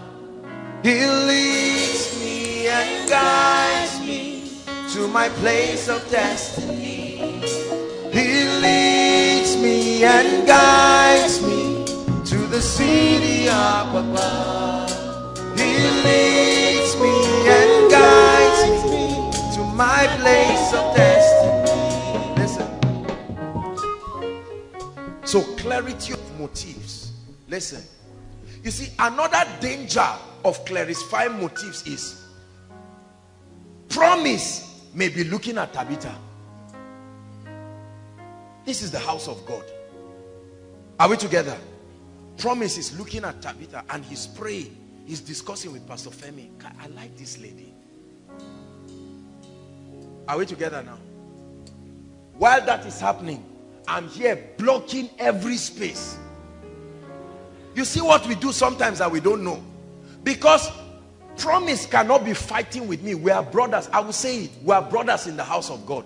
Now I'm here and promise assumes that this guy is already there. Okay, I love the lady, but I mean, the kingdom advances. Even if it's not me, I'm happy because the person in her life. So at the end of it, this lady does everything, graduates, says no to every godly brother that has vision and can ask her out, waiting in expectation for who? Joshua Selman. Are you seeing that now? And then at the end of it, then you now say, I think I should start considering a relationship now. And she's smiling because in her mind she's saying, wow, this guy's ready to take this our thing to the next level. And then all of a sudden, some guys even get so bad you keep talking with the lady, you keep doing everything, and one day you just find out that the guy is already seeing the parents of somebody else. Whereas every communication with this other sister is still intact, nothing changed. There was no sign. Now, brothers, you may be doing it sincerely, but I'm telling us this we have to learn, and it must stop. Ladies are very sensitive, and hear me, this is the house of God. Brothers, behold your wives. Wives, behold your brothers. We are adults. There's nothing to hide. Your wives will come from here largely. Your husbands will come from here. And most of our sisters have been well taught. If I say our sisters are not nice people, I'm saying I'm a fool because I'm the one who taught them. Most of the sisters, God has helped them. Do you know that almost every lady that I've spoken to this year are saying they are ready to settle down this year? And it's not a lie. They really are ready. That what does that mean? We are human beings. It's not about being desperate. That means when a brother begins to draw unusually close, the sister expects that he knows what he's doing. Are we together? Because we have preached this again and again. So she expects that he knows what he's doing. Now the brother has not been able to sort himself out. And he's there, he's nice. Now, there are brothers who our problem is that we don't know what we want. We don't know what we are looking for. We don't even know where we are going. You want what is in Amaka to enter what is in Marion. enter what is in uh, Mesitila, enter what is in uh, Tabitha. That's, that becomes your wife. Please, you are dreaming. Please, you are dreaming. That's what you say. So, whenever you are in koinonia and you hear Tabitha singing, all of a sudden you remember that you've always dreamt of a worshiper. You wake up in the morning with three or four children and there's solid worship going on in your house. That's, that's a very kingdom paradigm and I appreciate you for that. Except for the fact that while that is happening, you also want a chef. You want Shahoma to be cooking for you. I mean, you want a lady who can cook. Are we together? And then after that, you also want a lady who is a first class student. You see, all of these combinations, you all want them in one person. You, you are joking. It doesn't exist. In the name of Jesus Christ. It doesn't exist. We're going to pray. I know you are laughing, but I came to pour my heart to really talk to us because I want us to benefit maximally. Are we together? So, Tabitha is in a state of extreme emotional tension. She doesn't know what to call the name of what we are doing. Do you know this is why some ladies now run away from any guy? It's not that they are bad or they don't want a relationship. They just don't want all of this heartbreak. Brothers, now you are a victim. You like the girl, but she likes you too, but she's running away because of the accumulation of emotional pain she's gone through.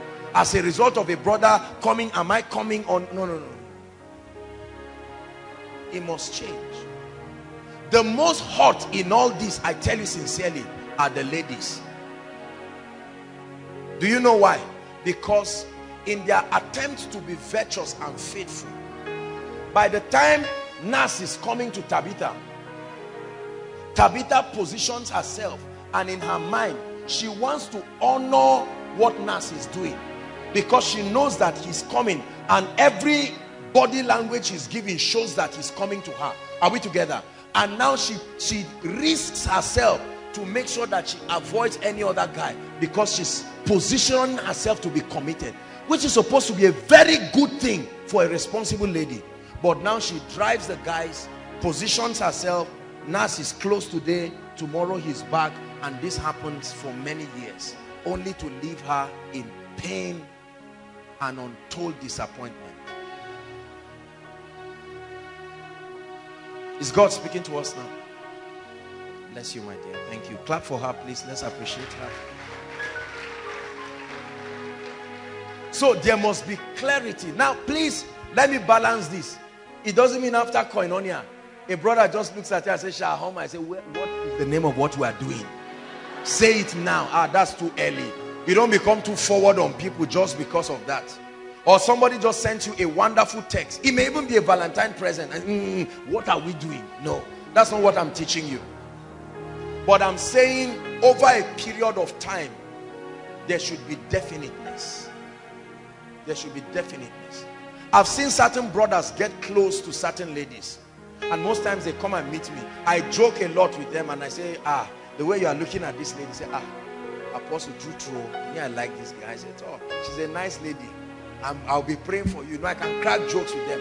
And the day he asks out and the lady says she's doing, I, for me, I'm happy. When two of them come, I say, I'm, I'm really happy. You people will make a great couple. God bless you.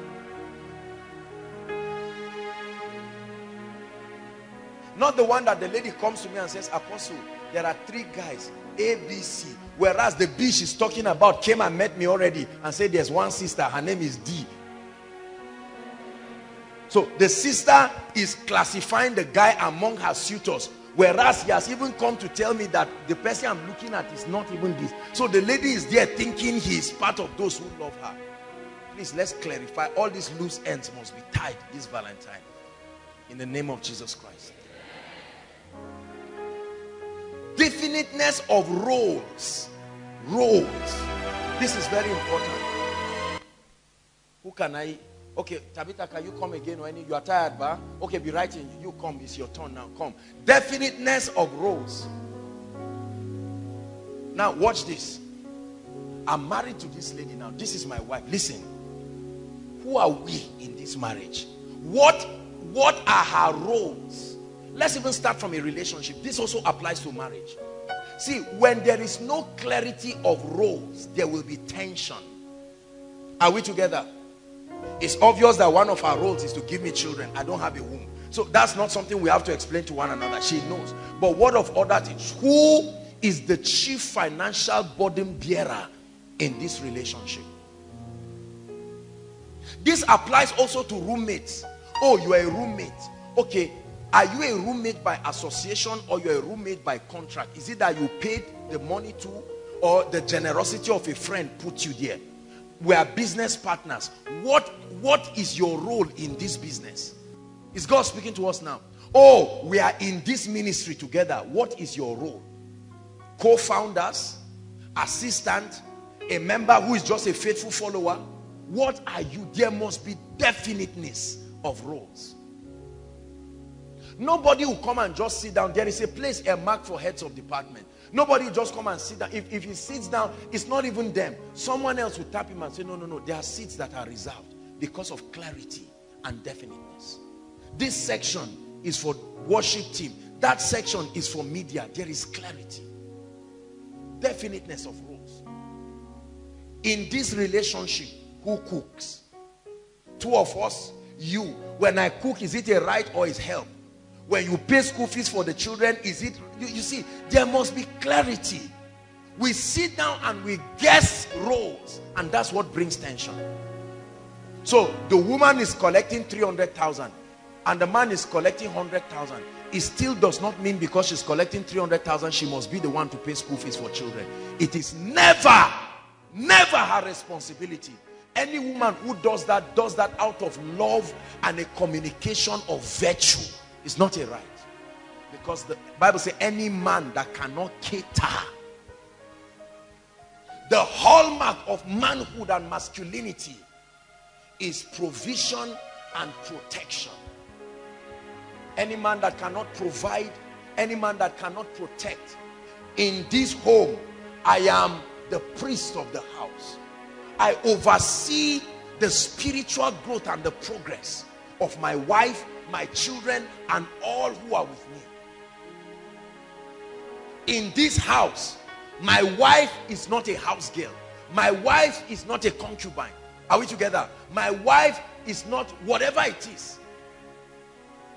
So my mother will not come or my mother-in-law and come and make my wife look like a third class citizen. I love my mother. I love my mother-in-law and all of that. But we have become one with this lady. And I'm not going to watch anybody truncate on her just because of loyalty. Now, we come from cultures that have all kinds of perspectives about marriage. There are cultures that really don't give their children. Mother and father and all these people are still in control of the home. Causes tension. Is God speaking to us now? What is her role? What is her role? There are families where the woman does not have the right to authorize anything in the family. Mommy, I want to take that yogurt. Say, please, so go and ask your father. You see that? Because the impression the man has given is that I am King of kings and Lord of lords.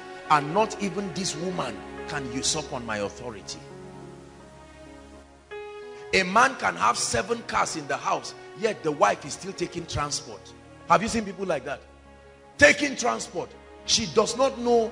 And then you find out that his friend's wife is coming from the airport and he will send the son or a driver with one of the car to go and pick her. Why would she not say you are having an affair with a friend's wife?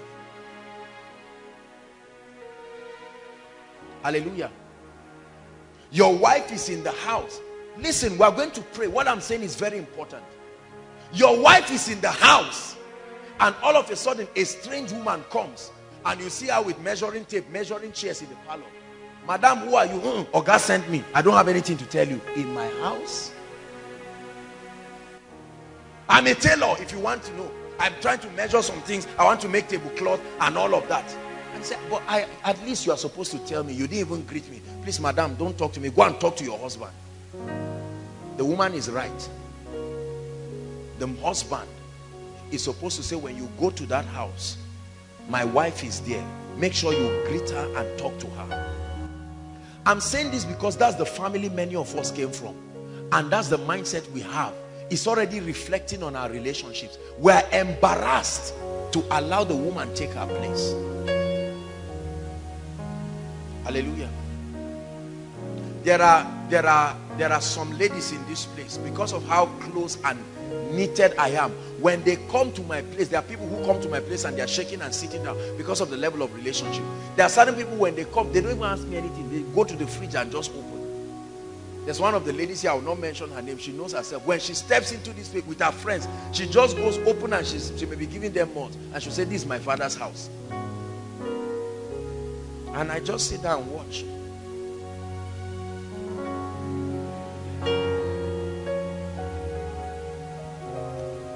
Brothers have hot ladies more than they can imagine. Sometimes doing it sincerely. God is speaking to us that we need to make amends tonight. There are many people following online. There are people inside and outside. God is showing you the loose ends while there may be tension in your relationship. The lady suspects any guy that comes around you because you have not clarified her position in your life. The wife sees every man that comes, whether it is from your office, and she says, Madam, what do you want? Oh, it's Ogara. He's not around. Please go. Because she's thinking you are coming to wreck her home. The man has a responsibility. You see a husband and a wife in church. They don't even sit down together. The man hates it. You find one small girl and just sit down. And they say, turn to your neighbor and you see an elderly man just trying to look and say, you turn now. And the wife is watching from where she is the man is driving. When he's driving with his wife you will know it's his wife because he will turn his face one side shouting and yelling at her embarrassing her. But when he carries his daughter's friends he's dropping them somewhere. How are you? Have you eaten? There we just passed a restaurant. Are you sure you want? Daddy can buy food for you. It's not daddy anything. There is something he's suffering that if he's not humble enough to address so, see, let me tell you something. Some men may not sleep around, they may not do certain things, but there is an affinity for unfaithfulness. It may never lead to immorality, but it's an they enjoy if you enjoy the presence of any other person than your wife, something is wrong. Many women have done well, but thou excellest them all. Imagine looking at you and telling you many women have done well eh? but you excel them all. She will be happy. She may not do it now because we have, we have there's video camera but she will be happy. There's no lady i know who will not be happy. Brothers could this be why your relationship is almost tearing apart? Husbands fathers could this be why your marriage is tearing apart? There's no flavor because your wife is a slave she's happier being in koinonia than going back home. And let me tell you the trouble with this kind of men and women. Except you are in their house you will never believe that's what they are doing. Because the impression they give outside is very different. That's why you see them saying we have a man of God apostle Joshua Selman a father indeed very humble and the wife is just nodding. And saying you people don't know what you are saying. Awards after awards and I may think because I'm collecting those awards, I'm a good father. I may even be counseling certain people. This is how you should do your marriage. Whereas yours is in a mess. I live to praise your name. And I have no fear of what tomorrow brings. Sing it just one time. I live to praise your name. I have no fear of what tomorrow brings. Hallelujah. God bless you. Thank you, my dear. I already began to answer session three. Give me five minutes and I'm done and we'll pray. This is the discussion now. What could be wrong? A, if you are struggling to love your partner, please listen. I know our time is on, but I want everybody to please pay attention just get this because God is about to answer many people's questions right now. What could be wrong if I am in a relationship with Amaka, but I am struggling to love her? She's born again, I'm born again. Is God speaking to us? What could be wrong if Shaloma is in a relationship with Benga and she cannot love him? Or if they are married, many couples, many people go through this and they never study what? Is it a message from God? Is it a message from the devil? Is it a sign? Please hear this. What could be wrong if you are struggling to love your partner? Listen, your partner can be the person you are going out with or it can be your husband or wife or business partner, whatever it is. This is what can be wrong. Listen, what could be wrong if you are struggling to love your partner? Number one, it can be that you are unequally yoked. That could be why you are struggling to love the person. You are in a relationship with somebody that is not, you are unequally yoked. He's not in Christ. You see that? He does not have the value system of the kingdom. Or maybe when you got married, you got married carelessly. Now don't feel bad, please.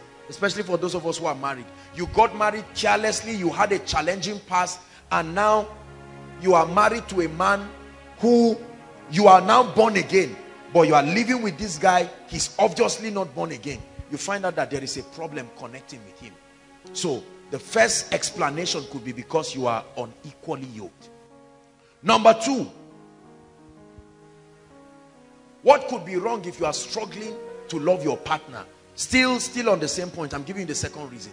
The second reason can be, please listen and pay attention carefully. The second reason can be that your spirit has picked a signal of danger and is communicating that signal to you. Especially when there is no physical reason to necessitate that kind of fear. Ah, I'm giving you, I'm giving you a big secret that will help many of you tonight.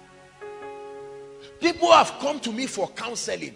I know this brother loves God. I know this sister loves God. They are all people here. They may even be workers, maybe even leaders. And they start a relationship or about to start a relationship or are even married. And you find out as a brother, this lady, come, um, um, Martha, I love Martha, all right? Or I'm in a relationship with Martha But every time we go on in that relationship, it's like there is an invisible force of repulsion. Something, I still don't know what it is. If it's beauty, she's fine. If it's to love God, she loves God. If it's commitment, she's virtuous. But I don't know what is driving me away from her. Let me tell you, it no longer is a physical thing there is a spiritual contention. I want to explain something to you. Please open your eyes now and understand what the spirit is saying. Martha may be coming from a spiritual background where there are still spiritual things to resolve. And my spirit man has picked up that thing that there could be barrenness in the future. There could be certain things in the future. Are we together now? And so while I am fighting to love her, there is a resistance. God is saying your commitment should now be to break that thing, not just to think of marriage. When it is resolved, the force will leave. And you find out all of a sudden, after one miracle service, your love for her stepped into a new dimension. Many of us are fighting something God is speaking. He has been speaking for months. I love you, I love you. You are not opening your eyes. This night, God is showing you. It's a different thing if this lady is not virtuous. But there is no known reason why I should not love her. Are we together now? It's a sign. We ignore it. But it's a language in the spirit. There could be foundational things, brothers and sisters, that may be in her family. And that's what the spirit of God, that's why there is that unrest. The moment she tells you, okay, um, Mike, when will you go and see my parents? All of a sudden your heart is beating. But this is what you were prepared for all the while. Listen, every time you sense any unrest, prolonged unrest in a relationship, don't keep quiet about it. There is an issue to be resolved. It may not have anything to do with the person, but it has to do with the spiritual influence that connects to the person. Are we together now? Please don't feel bad. 90% of the people who get married and the woman changes or the man changes or you see them a prolonged period you know, barrenness or one kind of thing like that, the man will say, I kept picking these signals. I know people who have cried one week to their wedding as if if, if there is a way I can break this. I've prayed for many people who were married. The moment they got married, the man cannot even meet with his wife as a husband and wife. No affection, no nothing. He cannot explain why.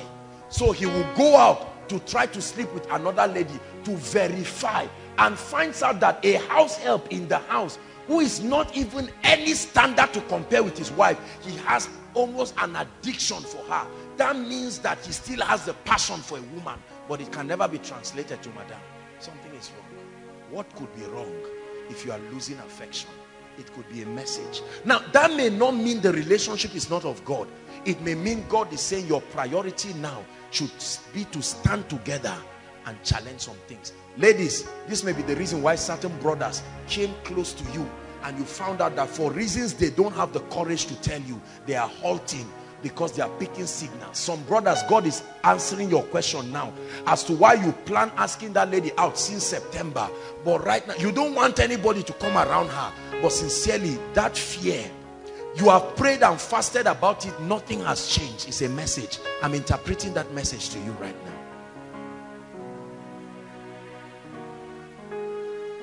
Is God helping us tonight?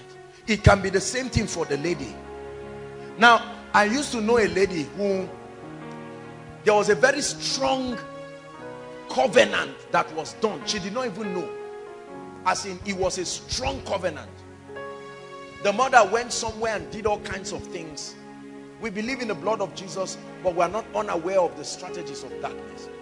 All kinds of demonic dedications. Now listen, there was a track record the first person she entered a relationship with, it didn't reach two years. He died.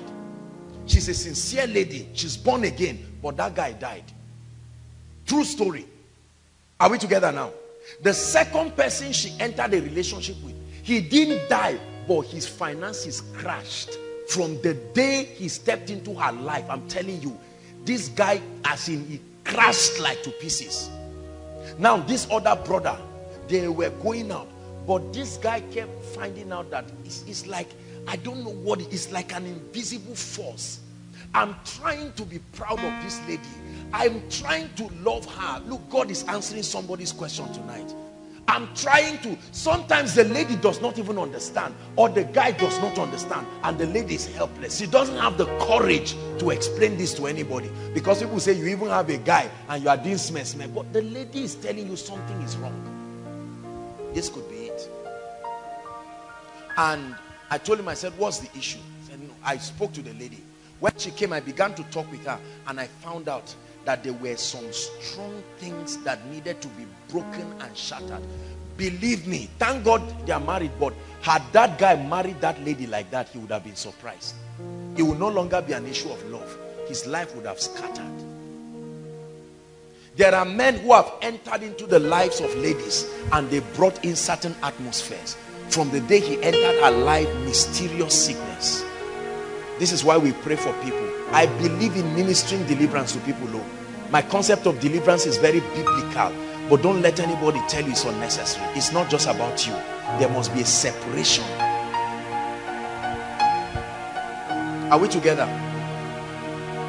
Bless you thank you. So that could be one of the reasons why you are struggling to love your partner.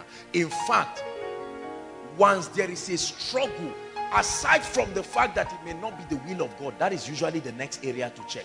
I'm teaching you right now because some of you will go back quickly. Some of you cannot wait for koinonia to finish. So you run and call your friend and say I found the reason why you are always complaining to us that this guy is nice. He buys you everything. You are even thinking of how to dodge valentine this sunday because it's like when you are with him it's as if you are naked. You cannot even tell what is happening to you yet you are supposed to love him so people told you that's how it, it starts. Just, just keep doing it. One day it will be real. It's a lie. Sit down and flog the issue. There is power in the name of Jesus. There is power in the name of Jesus to break every chain, break every chain, break every chain break every chain, break every chain, break every chain. Hallelujah. I saw a pattern in my family as I began to grow up. People make it in life, but they suffer. You know what I say, suffer. That language called ease, that thing does, I didn't see it exist in my family. I saw people, something that can take you two months, you can spend 12 years, but you will achieve it. I looked at a few of my cousins and I saw them following that pattern. From my dad's side, listen, this is a very serious issue. My father is the only, not even the most, the only successful person.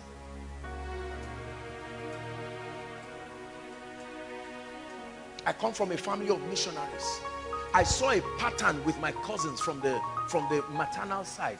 I found out that all the firstborns were males, but there was always something, a very tragic situation that will happen in their life. Either you get somebody pregnant before marriage or something.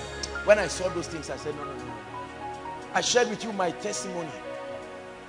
Born again, filled with the Holy Spirit, doing ministry, but still being oppressed by demon spirits in the night. My own was so bad. It's not that I will sleep and mind, I will see it. But light came to me. Some of you are carrying atmospheres that are driving friends. That's why everybody who comes close to you notices that something leaves them. Jonah entered boat. People lost money. They lost properties because of his presence. The ark of God entered the house of Obed Edom. There is a presence you are carrying that may be responsible for what is going on in your relationship.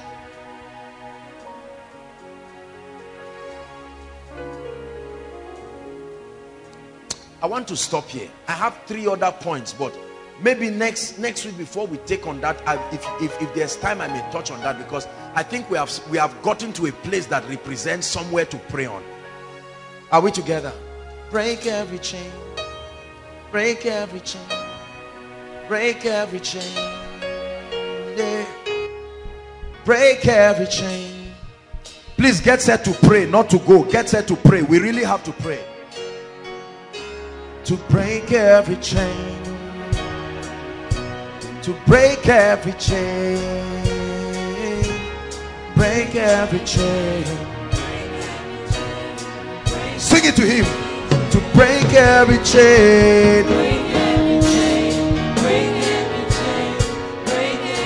Hallelujah. We are going to pray. We will start the prayer with this last point. I'd like you to pray. You're going to challenge every atmosphere in your life that is stopping your relationship, your marriage from moving to the next level. i like you to pray.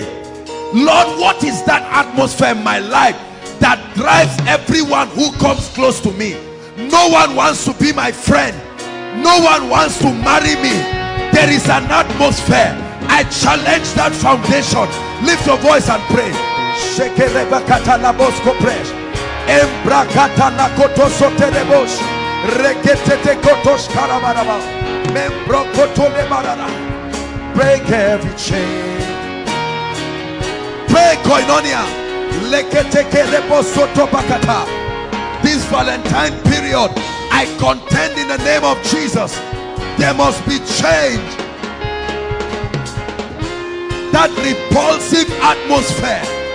that drives men from me that drives women from me that drives business partners from me that drives ministerial colleagues I challenge it I challenge it by the blood of Jesus break every chain break every chain.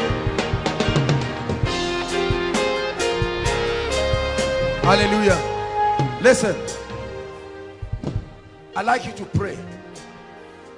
When the man who was born blind, Jesus passed a certain city and they saw a man who had been born blind. Listen, they said, Who seen that this man was born blind? Was it him or his father? the disciples knew that something a generation can do can affect a generation i like you to pray and say whatever was done in my lineage that has an implication on my marriage my relationships i come by the rod of a higher priesthood. In the name of jesus.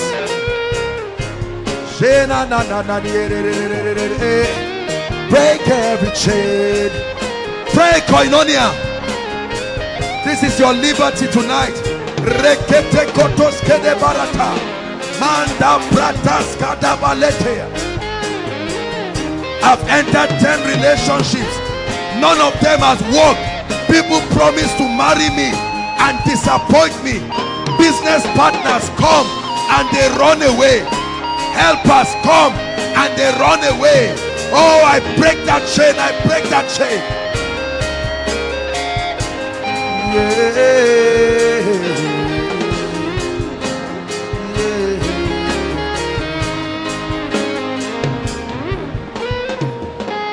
Hallelujah. Hallelujah. We're still going to pray. Listen. I have seen human beings carry certain patterns. I used to know somebody who, when he comes into your life, for the first five months, he will bless you. But after that time, you must fight with him. Something must happen and tear that relationship. I saw that happen in many relationships. Every time God wants to lift you, God will send him. When he comes into your life, know that a season of lifting has come. But as far as you are lifted, he's the same person who will crash you back. Some of us are like that. Listen, I'd like you to pray in the next two minutes. I know our time is gone, but please, if you go home late tonight and you are free forever, it's a good bargain. We are going to pray for the next two minutes. I'd like you to lay your hands on your head and prophesy. Pray and prophesy. Oh, I break this. I break this. I break this. This yoke. It dies from my life. It dies from my business. It dies from my ministry. In the name of Jesus.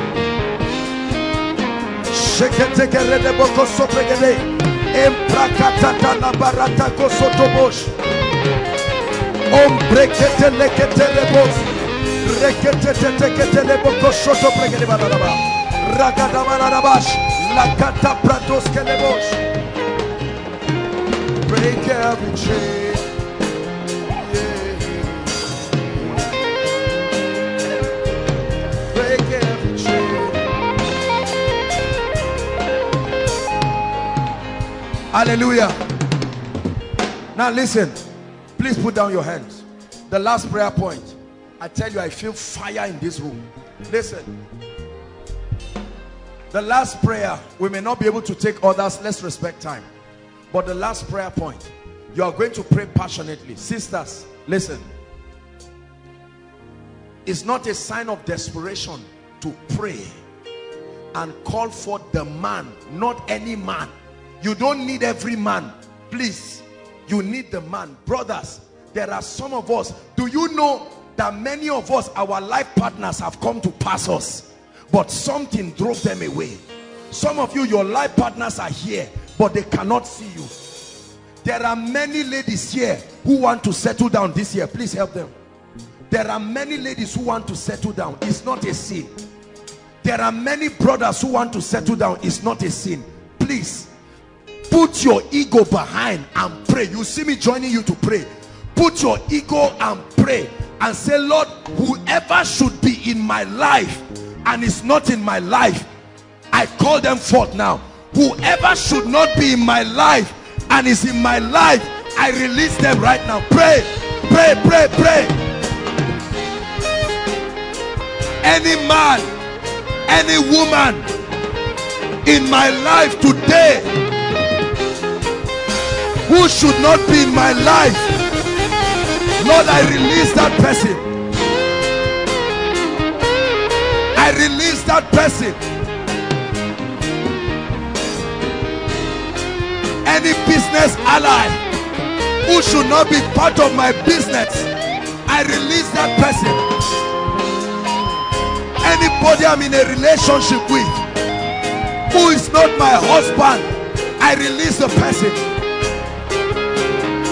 Any lady I'm not in a relationship with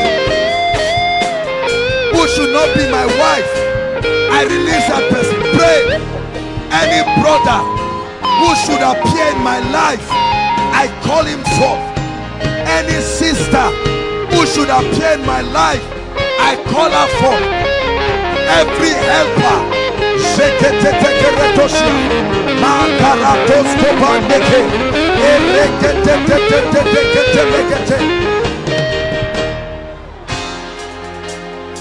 Hallelujah.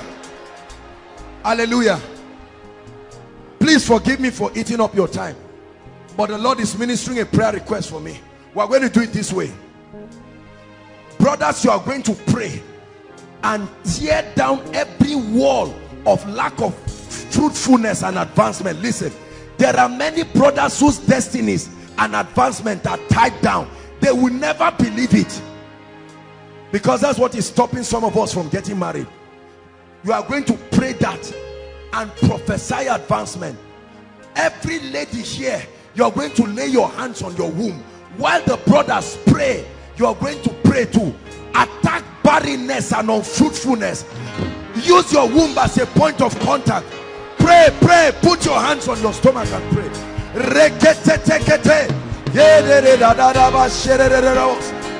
Repokoto preketelea rekete kotoshata embrapata lados brakata labasia sisters pray. Every spell every enchantment of unfruitfulness of barrenness of lack of advancement. I curse it by the blood of jesus. I curse it by the blood of jesus. I curse it by the blood of jesus. Brothers pray pray pray. I'm making progress. I must make progress. I attack every spirit of stagnation. Growing old without making progress i come against you in the name of jesus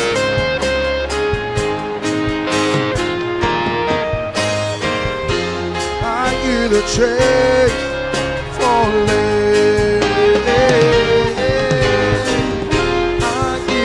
change.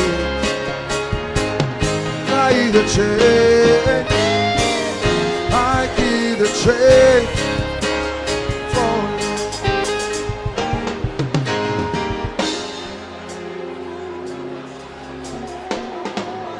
Hallelujah. Hallelujah.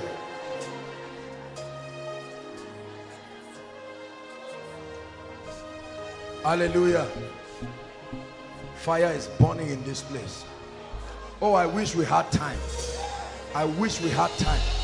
There are prayers I would have led you into that would have torn some chains into pieces. I tell you. There are different kinds of prayers, brothers and sisters. You must pray strategically when it comes to commanding breakthrough. I did this for my life. I refuse to let some of you, your background alone, you can see all kinds of deliverance happening to people all around because this is a serious issue.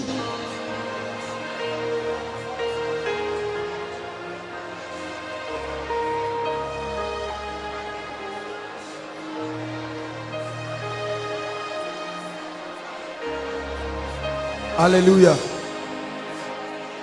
Hallelujah. Let's pray one more prayer. Lord, from this Valentine, you are changing my life. From this one, this is the last Valentine that I will go through in this frustration.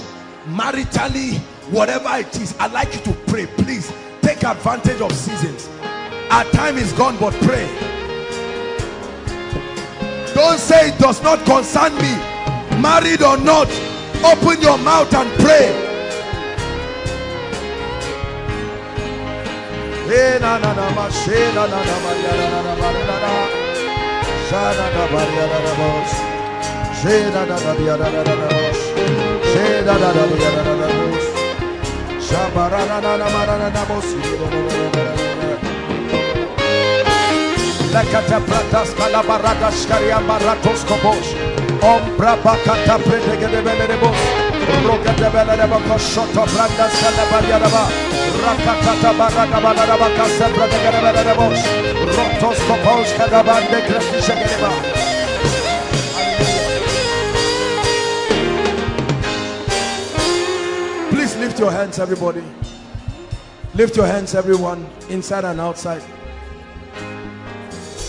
Lift your hands.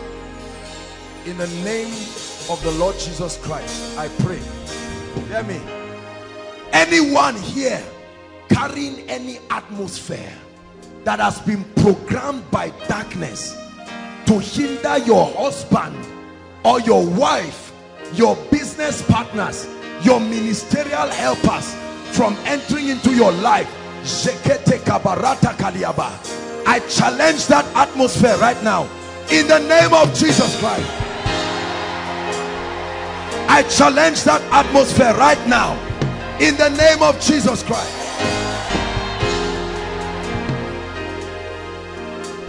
Hear me. Every sister here desirous of settling down with a godly man, not a foolish man. In the name of Jesus Christ, we call for that man into your life. We call for that man into your life. We call for that man into your life. I pray for every brother here. You have struggled. People may not know but you have struggled. In the name of Jesus that struggle comes to an end tonight. Please help that brother. That struggle comes to an end tonight. That struggle comes to an end tonight in the name of Jesus Christ. Hear me. Anyone here who is a victim of geography your geographical location has implicated you spiritually. Lande karaskapa I stand tonight under this apostolic anointing and in the name of the Lord Jesus I break that influence from your life I break that influence from your life I break that influence from your life.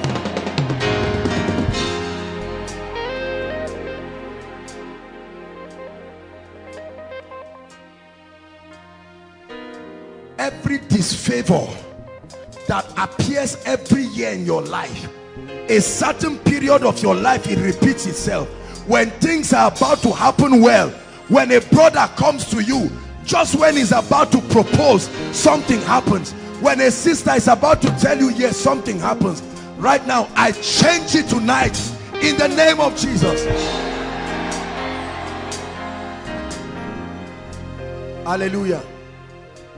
Now listen last prayer.